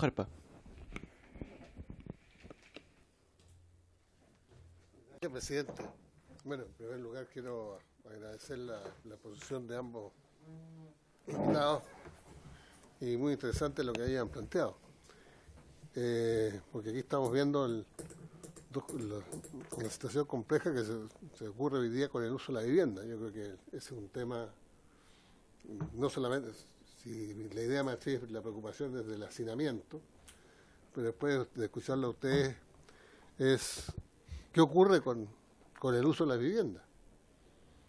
Y creo, y, aprovechando que no está la idea de este proyecto, pero después de, de- de sus exposiciones, ¿qué, va a pasar, qué, qué está pasando y cómo lo están eh, haciendo en los municipios con lo que ocurre hoy día? Que las viviendas que son de uso habitacional, a través de la plataforma, así como ocurre con la plataforma Uber en los vehículos, está pasando con las viviendas que se están arrendando eh, ya con el uso comercial, viviendas que son de uso habitacional, uso comercial, y que muchas veces el tema de los departamentos traen, traen problemas para los, para los vecinos. Entonces yo creo que es, un tema que también tenemos que ver eh, qué ocurre con, con el uso que se hace hoy día de, de las viviendas y, cómo y cómo se pueden fiscalizar estos hechos, porque yo creo que en el fondo esa, esa es la situación que hoy día tenemos con más dificultades. O sea, cómo, qué herramientas hay para fiscalizar el uso que se hace hoy día de las de las de las viviendas en, en nuestro país. Gracias, presidente. Gracias, presidente. Bueno, en primer lugar decir que este es un problema muy antiguo en Chile. Las antiguas casonas de Valparaíso, las casonas 400 metros, 600 metros, 800 metros en dos o tres niveles, se subarrendaban a familias enteras, o sea, por pieza. De hecho, una derivación de eso fue después, con el aumento de la matrícula universitaria, los arriendos a, las pensiones universitarias, donde llegaba mucha gente de provincia y se arrendaban las pensiones. O un tema antiguo que hoy día con, con el aumento de migrantes eh, eh, aumentó en forma exponencial y significativamente. Eh, yo creo que esta forma, este, este fenómeno se puede combatir. Eh, bueno, antes que eso decir que estoy completamente de acuerdo que esto hay que normarlo y regularlo. O sea, me parece que estamos frente a un problema eh, humano, eh, no solamente por el tema de hacinamiento, sino por la calidad de vida y por la inseguridad de las personas que viven en estas condiciones, como lo hemos, lo, lo hemos apreciado en terreno y además cada cierto tiempo por los accidentes, los incendios y otros fenómenos que ocurren en estas viviendas. O sea, es un fenómeno sobre el cual hay que intervenir, hay que legislar. Yo creo que se puede de diversas formas. El abogado de la Municipalidad de Santiago, a quien agradezco su presentación, al igual que los otros expositores, ha planteado que, y algunos eh, parlamentarios, que por la vía de los contratos es más complejo y largo y difícil de probar, porque además están en el ámbito del derecho civil y, son juicios que muchas veces duran años. Y muchas veces estas, estas, eh, la urgencia de estos casos requieren acciones inmediatas o perentorias. Eh, por otro lado, las municipalidades se quejan que no tienen las facultades suficientes, aunque la Dirección de Obras Municipales tiene facultades, por ejemplo, para ordenar demoliciones eh, de viviendas que son intervenidas, remodeladas, porque la mayoría de las viviendas que se destinan a esto, y ahí eh, estoy de acuerdo con lo planteado con, con eh, don Walter Imilan, ¿no? ¿Eso bello? Don Walter Imilan, que hay dos tipos de fenómenos, uno el fenómeno pequeño, a pequeña escala, que es una señora que vivía en una habitación, en una casa de una cierta cantidad de metros cuadrados, eh, se fueron los hijos y, y subarrienda las piezas. Generalmente son pensiones, terminan siendo pensiones universitarias, en que no se afecta la capacidad de esa vivienda para recibir otros habitantes o seres humanos. Las condiciones sanitarias, eléctricas, eh, urbanísticas, asolamiento se mantienen, o sea, no, no hay riesgo a la vida ni a la calidad de vida. Distinto es aquella persona que interviene en esa vivienda y a su vez subdivide en un mayor número de, de habitaciones e interviene en la casa. Y frente a eso los directores de obras pueden intervenir, porque eso es una vivienda que se habilitó o se remodeló sin el permiso de obra, de obra que necesita de la dirección de obra, por lo tanto el alcalde, el director de obra puede solicitar la demolición de esa intervención. Ahora, como el, el director de obra solo lo solicita y es el alcalde el que finalmente firma el decreto de demolición y pide la orden, manda la orden pública, normalmente los alcaldes les cuesta mucho firmar ese decreto. Por lo, ta- por lo tanto, a lo mejor esa atribución debería quedar en los directores de obra y no en los alcaldes, cuando se vulnera, eh, y sobre eso quiero una opinión. Primero, ¿por qué no se usa? O si han intentado usarlo. Y segundo, si les parecería que, por ejemplo, esa atribución de ordenar demoler cuando un- una persona no respeta la ley general de urbanismo y construye en forma irregular, eh, quede radicado en los alcaldes o en los directores de obra. Eso por ahora, presidente. Gracias. Sí, yo quería hacerle una pregunta específica al, señor Romero con respecto a la relación que ve que tendría de aplicarse esta norma con la actual ordenanza que tienen en la Municipalidad de Santiago. Porque entiendo que hay dificultades para poder aplicarla y que hay dificultades porque eh, su competencia está radicada en los juzgados de policía local. Sin embargo, esto lo ascendería a, ser un tema civil. Entonces, digamos, dicho en, en términos eh, informales, esto le prestaría ropa a la ordenanza de la, de la municipalidad. Entonces quería saber si ustedes tienen la misma interpretación. Vamos, eh, la idea es que puedan responder todo lo que se ha preguntado en, en uno, si alguno o dos quiere partir, digamos. Ah, diputado Telier.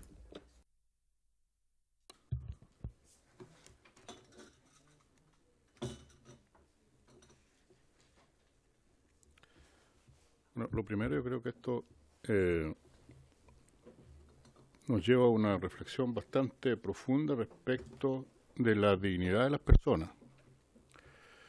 Po- Porque yo distinguiría, hay personas que la única manera que tienen de tener un lugar donde vivir es subarrendando. O, o ser subarrendatario, mejor dicho. Eh, y el problema que tenemos que ver es si eso eso es una vivienda digna como que creo todos pretendemos que a la cual puedan aspirar las personas y sobre todo aquellas que no tienen los medios para hacerlo con facilidad.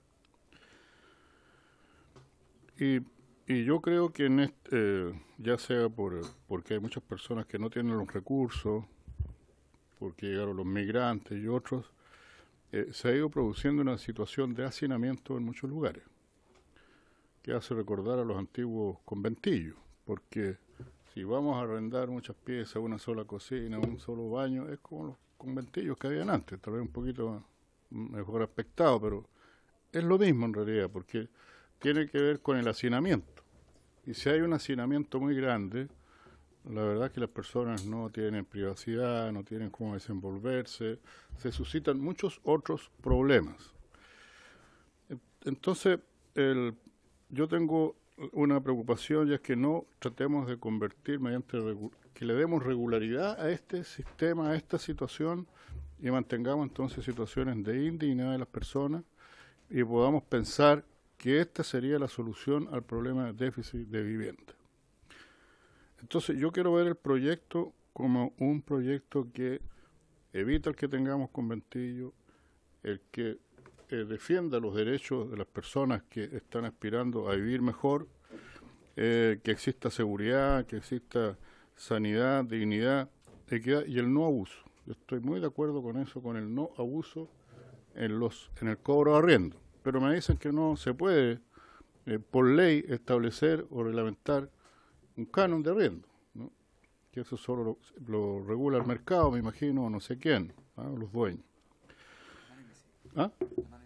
La mano invisible. Entonces, yo estoy dispuesto a, a que sigamos adelante con el proyecto. Me gustaría que hubieran más audiencias, eh, pero que veamos ese, esos objetivos con toda claridad. Ahora, si se puede arreglar por una ley, tanto mejor.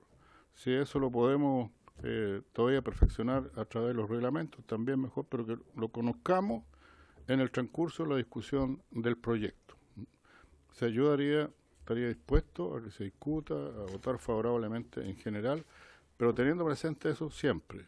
O sea que aquí nosotros lo que nos interesa es que se resuelvan los problemas de vivienda, que no se abuse con este problema y que la vivienda sea digna, o sea, que eso exista, que eso esté en primer lugar.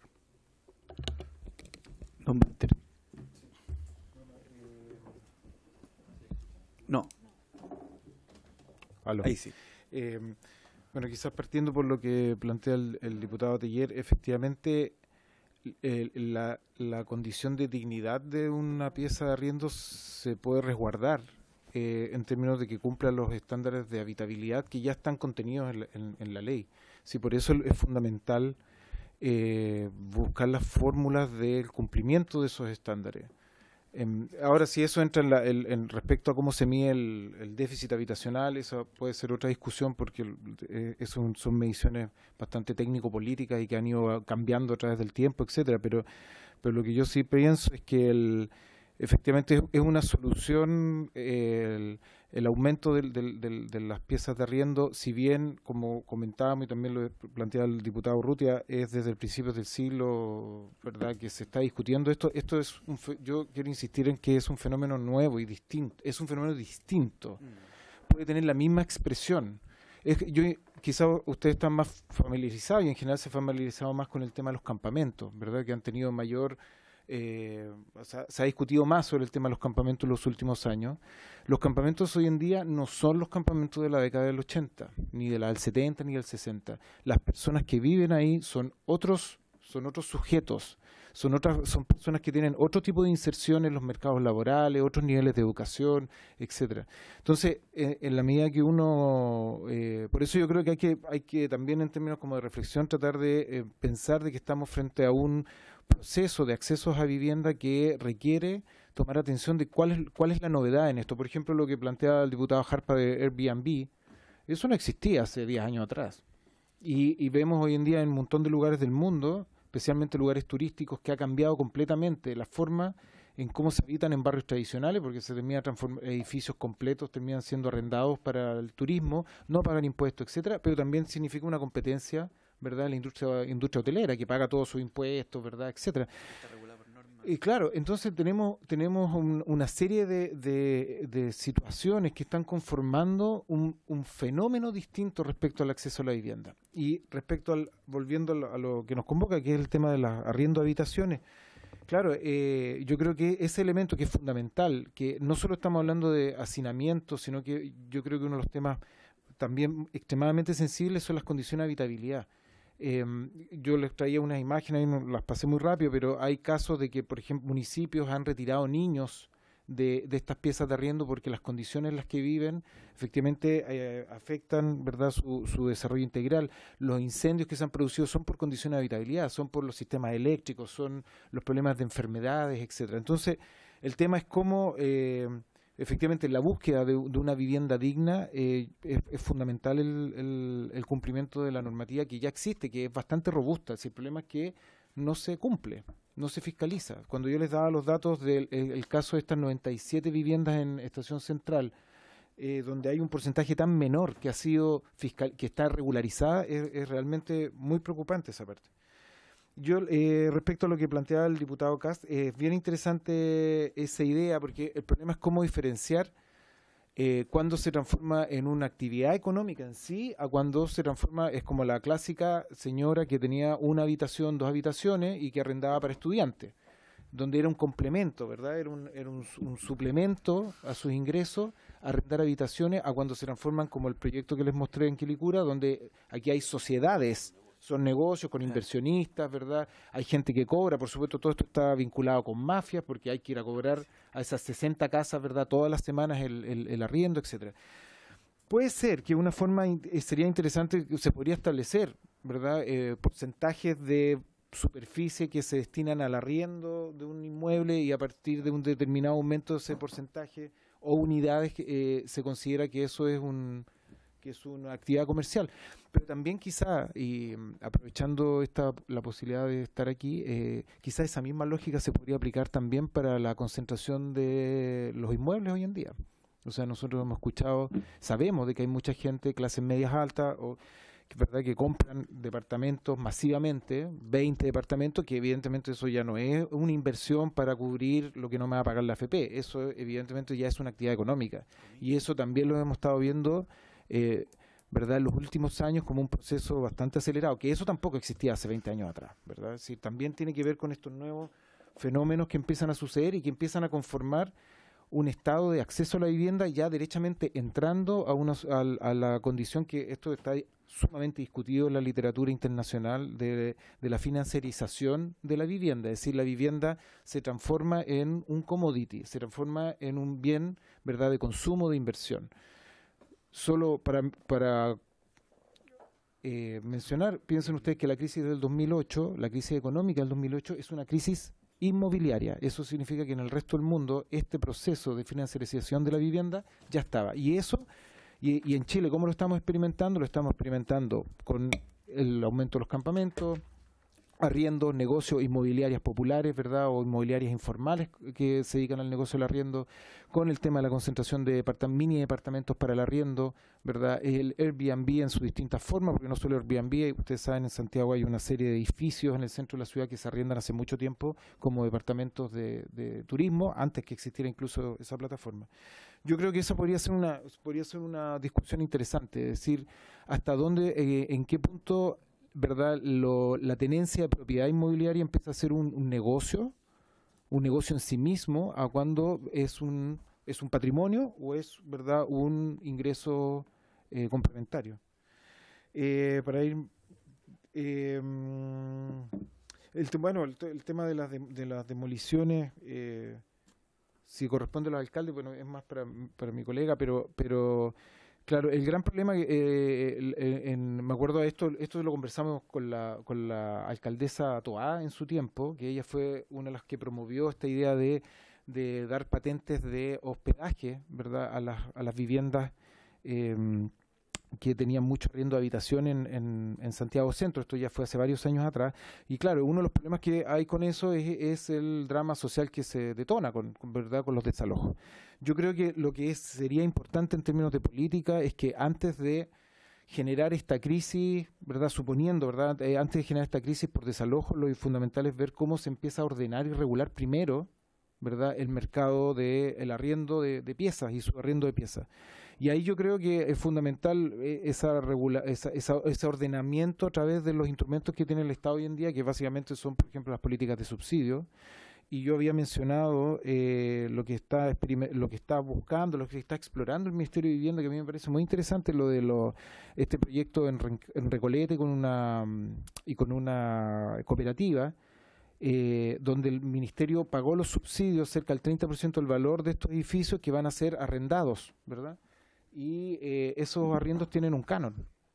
Lo que yo tengo entendido es que esos arriendos tienen un canon, es decir, hay un valor que se fijó, que creo que son 10 UF eh, como precio máximo eh, por una cantidad de años. Entonces, la idea, claro, el problema es que la regulación de precios en un modelo de libre mercado como el que tenemos es bastante difícil, pero sí se pueden se puede pensar la idea de establecer ciertos límites de arriendo en la medida que el Estado, verdad, también entregue subsidios. Y, mm, y también en el, en el gobierno de, de la alcaldesa Toá también estuvo la idea y también yo he escuchado de muchos eh, técnicos y profesionales el mismo que está la idea de cómo llevar ciertos programas, por ejemplo el 3PF, que es del el- protección de patrimonio familiar, cómo se podría orientar también hacia eh, la construcción de piezas o mejoramiento de piezas para arriendo en una escala ¿verdad? Como a una baja escala, alguien que no está haciendo un negocio, ¿verdad? Alguien que es dueño de una... Incluso en el gobierno de Carolina Toá se planteó eso para el rescate de, de edificaciones patrimoniales, que era uno, uno de los problemas que tenemos en Yungay, es que hay edificios que son patrimoniales, grandes casonas, con eh, dueños que, que no tienen las condiciones económicas para mejorar o, o mantener bien habilitados esos, esos inmuebles. Entonces también se podrían buscar mecanismos, ¿verdad?, de subsidio, quizás no a la, no a la, a la, a la demanda, sino que a la oferta en ese caso, que eh, y, y- y- que en respuesta se pudieran generar algún tipo de control de precio, de un precio justo respecto a esos arriendos. Yo creo que eh, hay, hay mecanismos, hay posibilidades, eh, pero yo creo que hay que, hay que, hay que, bus- hay que buscar, ya que hay consenso respecto a la, a la importancia de legislar esto sobre estos temas, de regularlo, eh, yo creo que hay que empezar a tomarlo eh, de una forma mucho más activa porque esto está cambiando muy rápido. Eh, las visiones de futuro del mercado inmobiliario en Chile son bastante oscuras para las próximas generaciones en términos de acceso a propiedad privada y hay que empezar a, a jugar con todos esos elementos que han cambiado verdad el campo del acceso a la vivienda en Chile. Muchas gracias, don Walter. Por favor. ¿Aló? Ya. A ver, eh, establecer como mínimo legal, para respondiendo todas las preguntas, establecer un mínimo legal para pasar a hostal como actividad económica, evidentemente que es un, es un- es- eh, puede ser una herramienta bastante útil, porque naturalmente que facilita eh, ante un hecho objetivo, se da otra situación y por lo tanto ya eh, ingresarían al control no solamente la municipalidad a través de su dirección de obras, sino que también el Servicio de Salud y obviamente el Servicio de Impuesto Interno. Sin embargo, la experiencia, digamos, no, ya no como director jurídico, sino que como abogado, demostrando que muchas veces estas normas que son un poquito pétreas, así tienden a lo típico los estacionamientos, en vez de hacer el, vigésimo quinto, hago el 24. Entonces, eh, hay que ver cómo se hace la ecuación eh, o el justo medio para que efectivamente se pueda utilizar una norma de este tipo a, a nivel legislativo. Em, respecto a qué se hace con las viviendas habitacionales en las municipalidades que se utilizan a través de las plataformas, eh, la verdad es que nosotros, eh, creo que lo posee en, en- en mi, en mi intervención, las municipalidades no tienen no tienen atribuciones para ingresar a las propiedades. Normalmente el, conserje se puede, eh, eh, por así decirlo, eh, resistir a que, oye, ¿usted a dónde va? Y no, no nos van a poner algún problema para las fiscalizaciones. Lo que actualmente hacemos los municipios es que, y por lo menos esto me toca a mí, es que cuando se detectan algunas denuncias sobre inmuebles que se utilizan no solamente eh, como eh, a través de arrendo en las plataformas para turismo, sino que también incluso para eh, servicios como tipo moteles, eh, nosotros eh, solicitamos un oficio al Servicio de Impuesto Interno a fin que verifique si en esa propiedad, rol tanto, existe, en ese domicilio existe alguna autoridad, alguna actividad eh, autorizada por el servicio eh, de carácter o de motel o hotel residencial, lo que sea.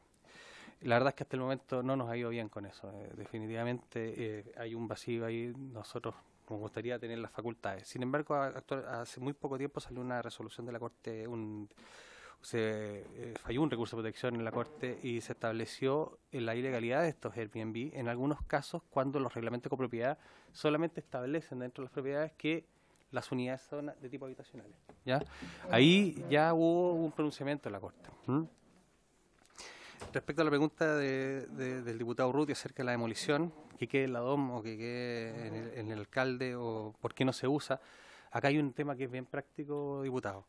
En general, lo que nos pasa a nosotros en Santiago, las demoliciones, primero, la, la ley general de urbanismo discurre en materia de demolición eh, con bastante con bastante precisión ya sin embargo establece algunos puntos relativos a la urgencia cuando estas obras amenacen derrumbe ya y en ese caso las municipalidades sí tienen eh, tienen facultades para obrar- bastante rápido. Si no hay que seguir un procedimiento eh, contra- contravencional en que se en que hay que hacer notificación esperar ciertos plazos la persona tiene recursos para poder impugnar esas esas eh, determinaciones.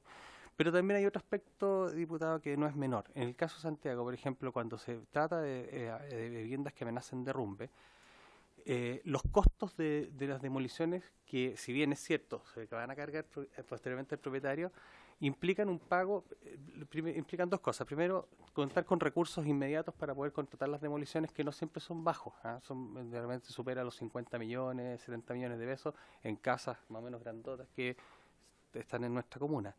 Y por otro lado, también tenemos que seguir el procedimiento muchas veces también de la ley de compra. Y por lo tanto hay que ceñirse a la licitación de la empresa que se hace cargo de la demolición. Entonces, también tiene una serie de dificultades que otros cuerpos normativos han ido incorporándole a esta, esta facultad. Esta facultad está en la ley, está así, pero juega también con otras normas. Eh, entonces, muchas veces las municipalidades se encuentran eh, con algunos grados de, eh, de dificultad económica y de procedimientos para poder hacerlas, digamos. Y no son todas las obras susceptibles de ser demolidas. Si bien es cierto, hay obras que evidentemente que amenacen derrumbe y seguridad y salubridad para la población que tienen que ser tratadas con la urgencia que se requiere, hay otras que de repente no son tan de- eh, no, no son de esa envergadura. Por ejemplo, una obra que eh, se haya construido dentro de una propiedad sin los permisos respectivos, ya da para que la municipalidad, por así decirlo, ingrese con una de- de- determinada eh, fuerza para demoler una pieza. O sea, eh, eh, esos son los, son los problemas del día a día que por lo menos a nosotros nos toca atender muchas veces con los propietarios y a veces también con propietarios que son inexistentes. Por eso también la ley establece la posibilidad de notificarlos por aviso. Por lo tanto, la forma de recuperar muchas veces también estos fondos no es tan inmediata. ¿ya? Esa es la dificultad que tiene el tema de la demolición. Eh, pero eh, creo que la norma, tal cual como está escrita, así establecida, no por lo menos en la experiencia que tenemos en la Municipalidad de Santiago, el, alcalde y, también con la antecesora, han funcionado bastante en forma muy coordinada las direcciones de obra con los alcaldes, atendía también las responsabilidades legales que le pertenecen a cada uno. ¿ah?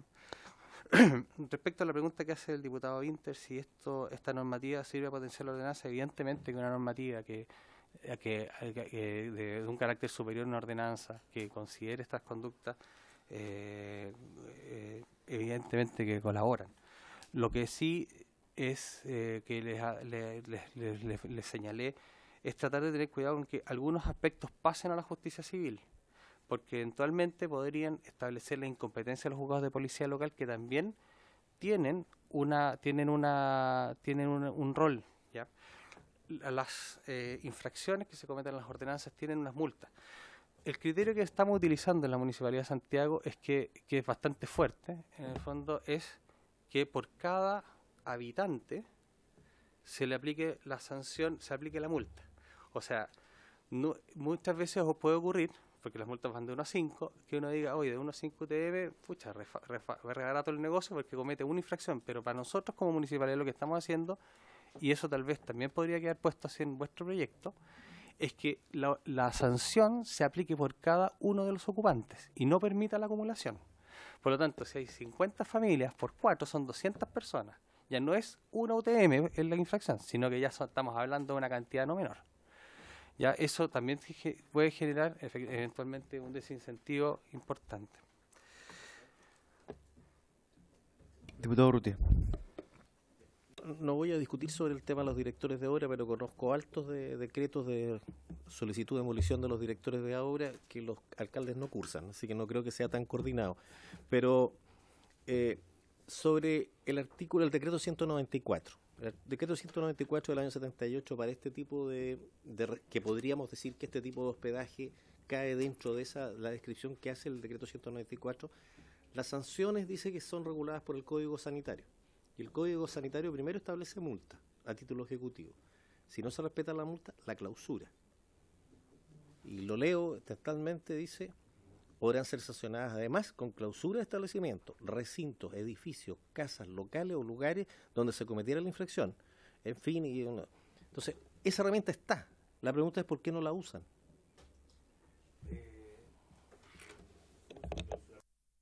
Es que ese- lo que pasa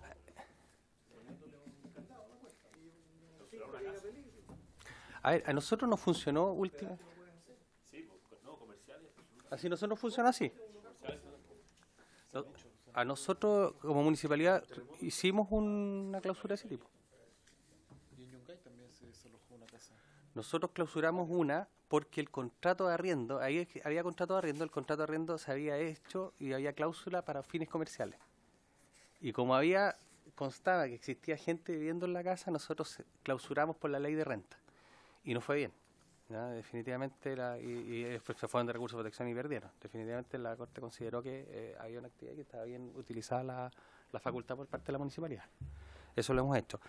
Eh, sin embargo, esta otra normativa de la del está, si mal no recuerdo, encargada a la autoridad sanitaria, el control de estos establecimientos. Y en ese caso ya no, no somos como municipalidad nosotros.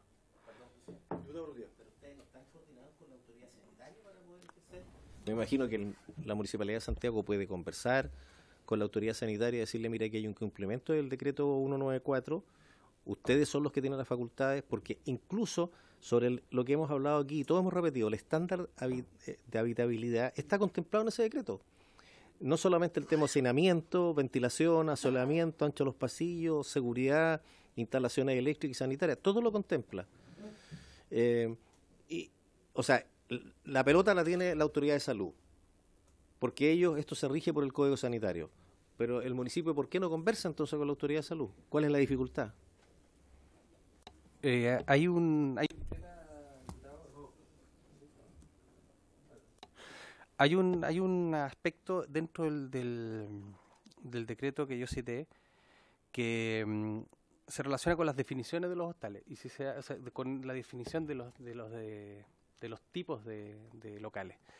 Y en algunos casos eh, hay que hacer modificaciones eh, particularmente en el caso de las pensiones Eh, y, en ese, y en ese aspecto, haciendo una modificación, yo creo que efectivamente nosotros podríamos tomar otro tipo de actitud con las, eh, de coordinación con la autoridad sanitaria. Ahora, nosotros efectivamente nos coordinamos, pero no, no podemos tampoco eh, obligar, digamos, la autoridad sanitaria tiene sus eh, sus eh, sus, sus prioridades y, y evidentemente que esto implica un juego en desarrollo con la, entre autoridades, digamos. Diputado Ruti. Lo que entiendo es que si precisáramos el decreto 194, si lo precisáramos definiendo bien del tema o el modo que estamos hablando, de este tipo de hostal especial, podrían ustedes tener mayores herramientas para actuar, porque las sanciones están establecidas en el Código Sanitario. Pero no tienen cómo fiscalizar. también. Es que lo que pasa es lo siguiente. Existiría, la re- existiría, existiría evidentemente una, una, una clasificación dentro de los dentro de los eh, de, est- de esto- de estos tipos de estos tipos de establecimientos permitiría la incorporación de la autoridad sanitaria en la fiscalización y a nosotros nos permitiría a través de o dirección de renta o de la dirección de obra que las propiedades cuando se eh, pueda cuando cuando cuando quieran operar de ese modo cumplan con esta normativa tienen que tenerlo como, como- ¿ah? exactamente Actu- actualmente eso eso no ocurre. Entonces lo que está pasando recordemos que esto es todo informal. Estamos hablando de propiedades que incluso sin ningún tipo de de, recepción o permiso de construcción en que funciona de, de esta manera.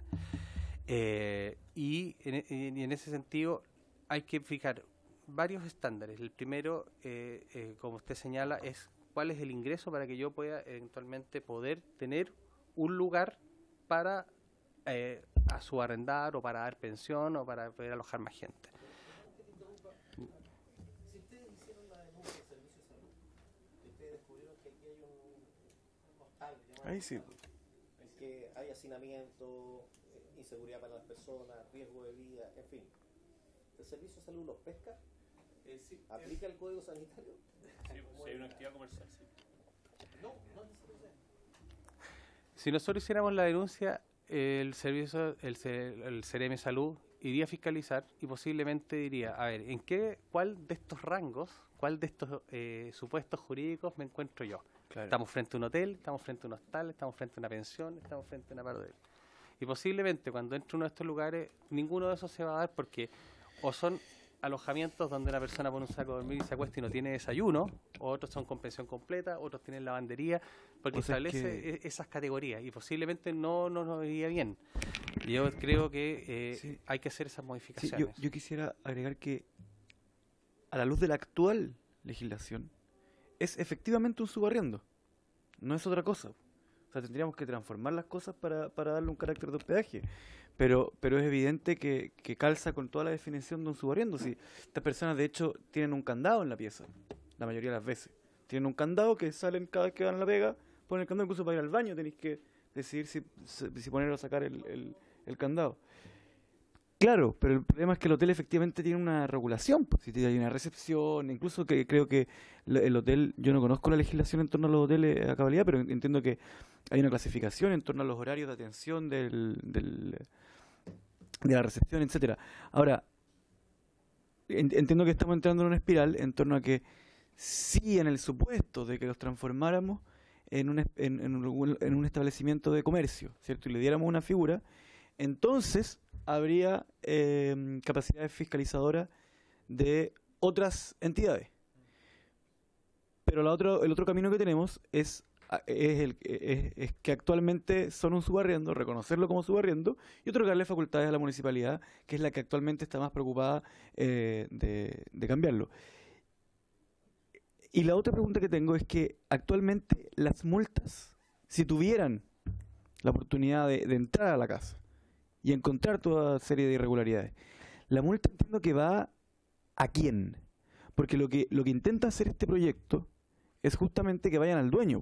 Porque la, la experiencia que hemos recabado, ¿cierto? Cuando desarrollamos el proyecto, es que te dicen, mira, la verdad es que el dueño te dice, yo esa casa la tengo arrendada hace 10 años, no he ido allá en 10 años, arréglatelas con el, con el caballero que yo tengo viviendo ahí. Y este proyecto lo que dice, no, sabe que si usted me va a quemar el barrio por la cantidad de gente que tiene adentro, usted tiene que hacer cargo. Se tiene que hacer cargo de, de su rol en, en, en el barrio. Entonces, la, la pregunta sobre esa materia es si, si para ustedes creen que realmente sería más eficiente si esa norma existiera de esa forma.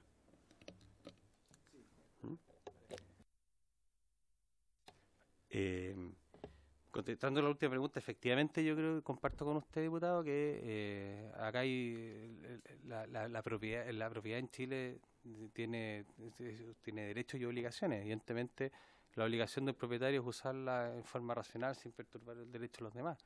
Entonces, un propietario, si alguien quiere, que es súper legítimo también, eh, si quiere tener una propiedad para especular y comprársela y tenerla ahí porque el día de mañana me pueden hacer alguna cosa y me sube el valor y, me, y, y gano legítimamente más plata, eh, eh, eso es muy razonable, pero, pero en definitiva los los costos de eso también no los puede pagar la sociedad. Yo comparto con usted, por lo menos, la, el criterio que hemos empleado nosotros como Municipalidad de Santiago es que al no estar también constar evidentemente la persona que está ejerciendo la actividad de estos subarriendos o estos hospedajes o lo que sea en forma abusiva, nosotros obviamente que hacemos responsable al quien tiene que cuidar un poco también su propiedad y por lo tanto yo comparto con usted y yo creo que no debería haber inconveniente en que finalmente como la figura del tercero civil responsable que está en cualquier parte, que el dueño de un auto boy, por ejemplo, ya existe normas parecidas, el dueño de un auto que preste el auto y otra persona choca, también responde civilmente de, eh, de las consecuencias que eso tiene, porque es parte de la, de la, de la, de la, de la función de la propiedad, digamos.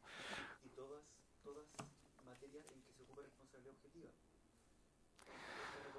Efectivamente, claro, si, si se da un supuesto en que una persona entrega esta propiedad, no se preocupó nunca más, eh, la llenó de personas y esto se quemó, nunca se preocupó las instalaciones eléctricas, eh, claro, se puso en, una situación, o la arrendó de esa manera, o la subarrendó eh, sin considerar esas cosas, se da un supuesto de este tipo. Ahora, hay una cosa que es bien importante, que lo, creo que lo señaló el, el, el, el diputado Delier, relacionado con la dignidad de las personas y, de personas que viven en estas condiciones.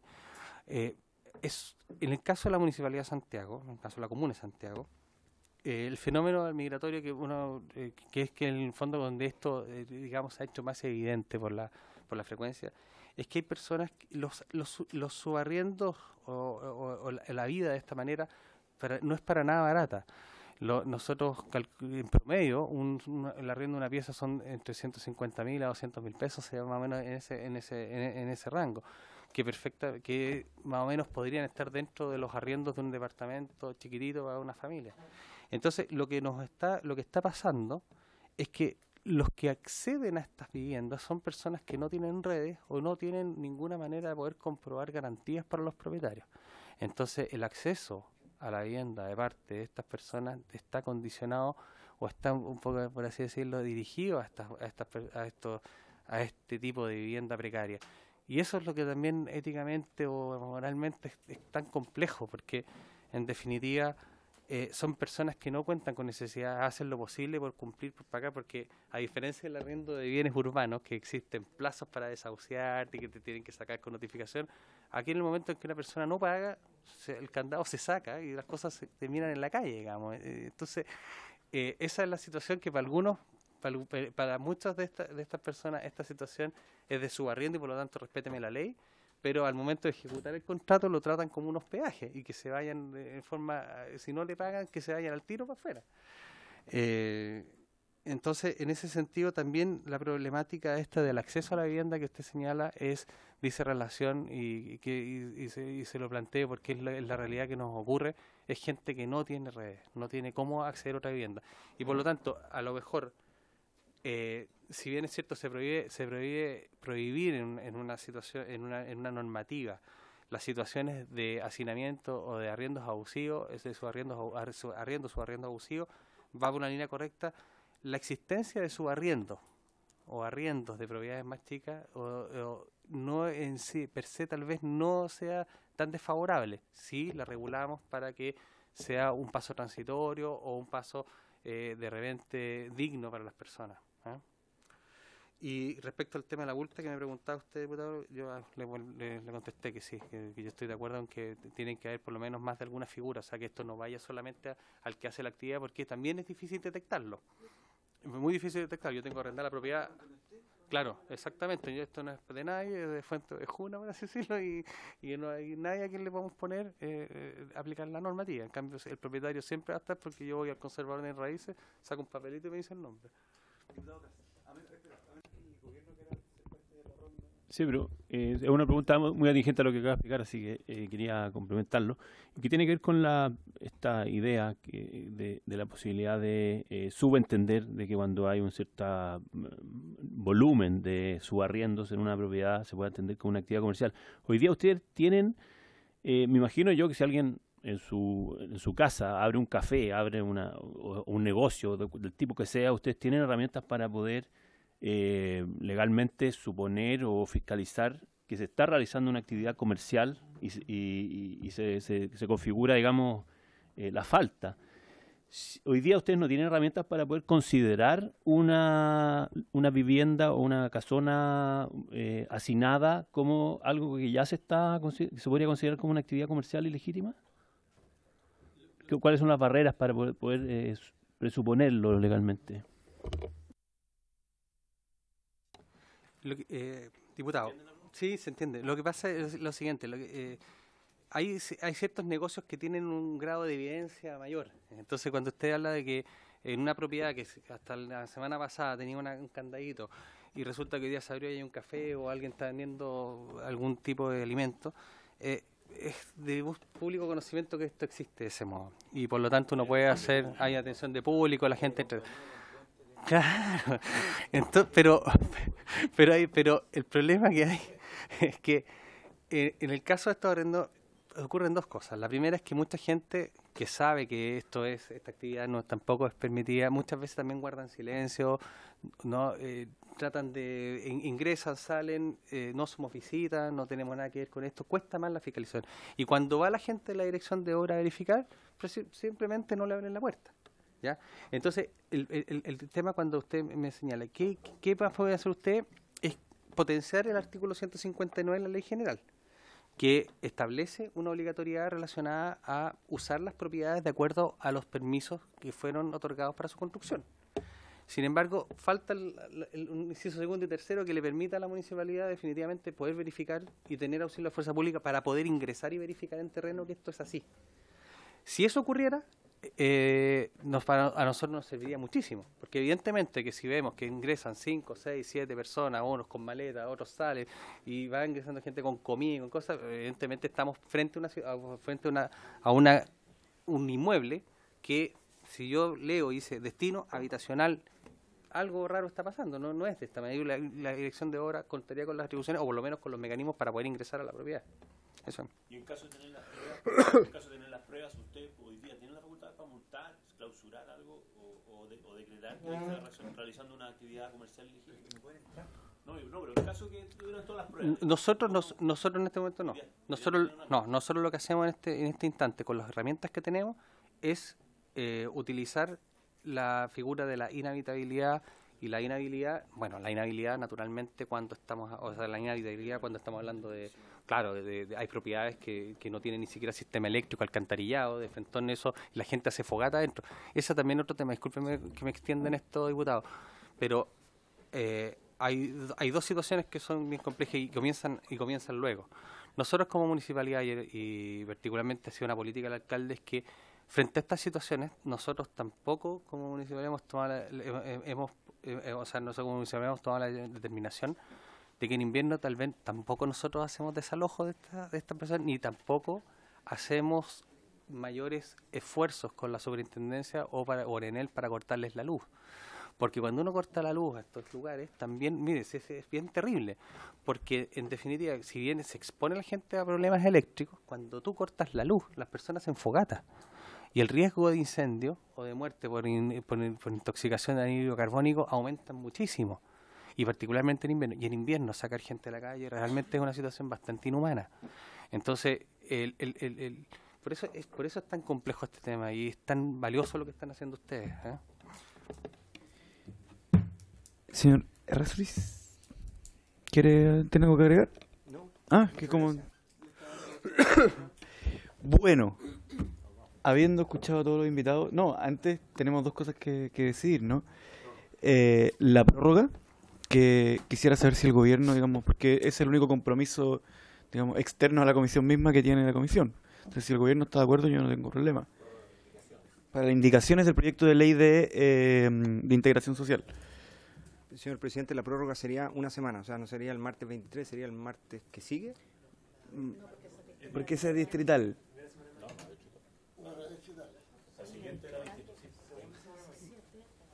No. O sea, podríamos agregar una o dos semanas, eso es... Tendría que ser, claro, tendría que ser el, el, el jueves 2, porque el- ese es primero de mayo. Y van a estar todos marchando. ¿no?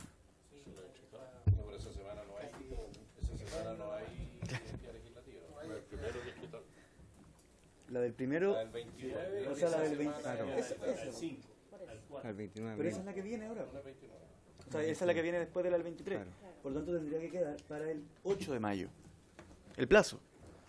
Igual, digamos, eh, sesiones que estaríamos perdiendo es una nomás. ¿Me explico? Que es la de la próxima semana. Porque estaríamos estableciendo dos semanas más, que es una que es la próxima semana y la siguiente que es distrital.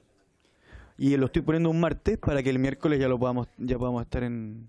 Pero será en el día miércoles siguiente a la- al término del plazo, ¿ya estará listo el análisis y las indicaciones? Lo, Imagino que pone- no, lo puede ser ponem- lo muy- ponemos el martes justamente para, eh, para que la Secretaría alcance a hacer el comparado, pero de ahí empieza la discusión. No es que cada uno tenga que tener su opinión formada sobre la... O sea, si quiere... Sí, está bien. O sea, el, el Ejecutivo va a tener va a tener las indicaciones listas y respeto al gobierno. porque estamos con premura con los plazos de firma del presidente, pero sí. Perfecto. Si es solicitud de la comisión,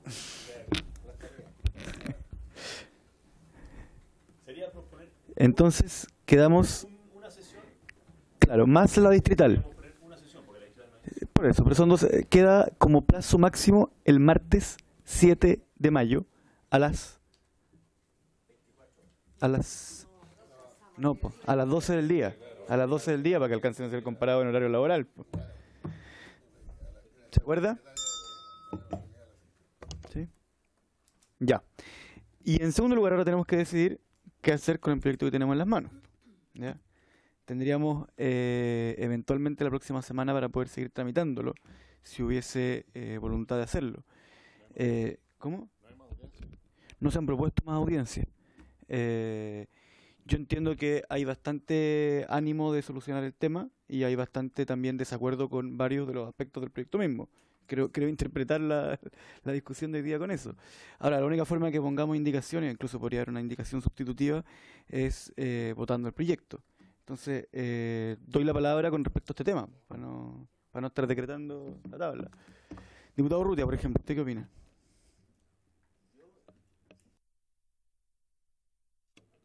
Ujú.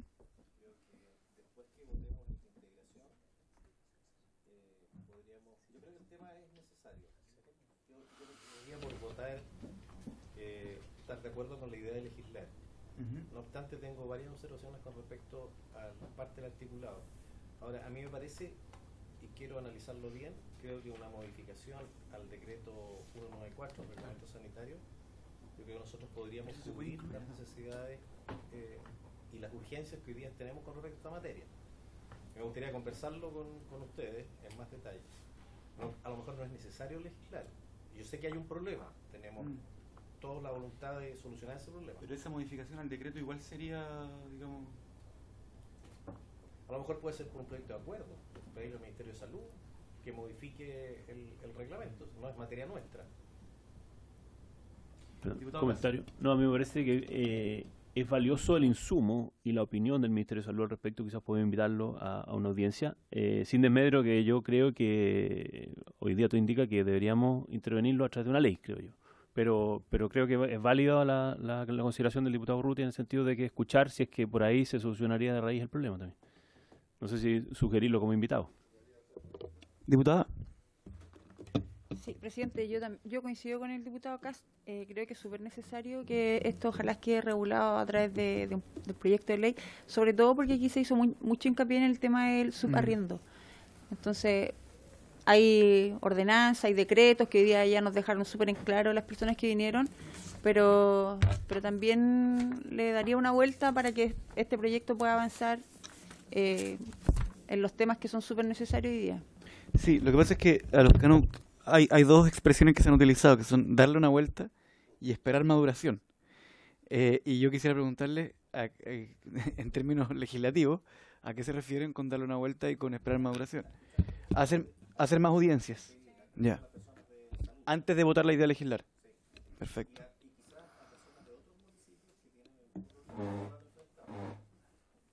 ¿Les parece que lo agendemos para la sesión que viene, que ahora la tenemos liberada del proyecto de integración?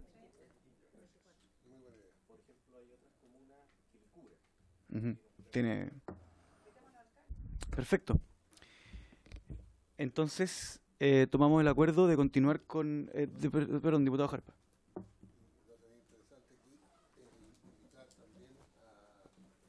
al, a la asociación de municipalidades, a los alcaldes. Están está ahí sentado. Bueno, por eso estoy preguntando. ¿Les parece que, que cada uno haga llegar eh, su propuesta de invitado? Como se hace generalmente. Sí, pues ya, y, acorde- y acordemos continuar con esta discusión la próxima semana. Por haberse cumplido el objeto de la sesión, esta se levanta.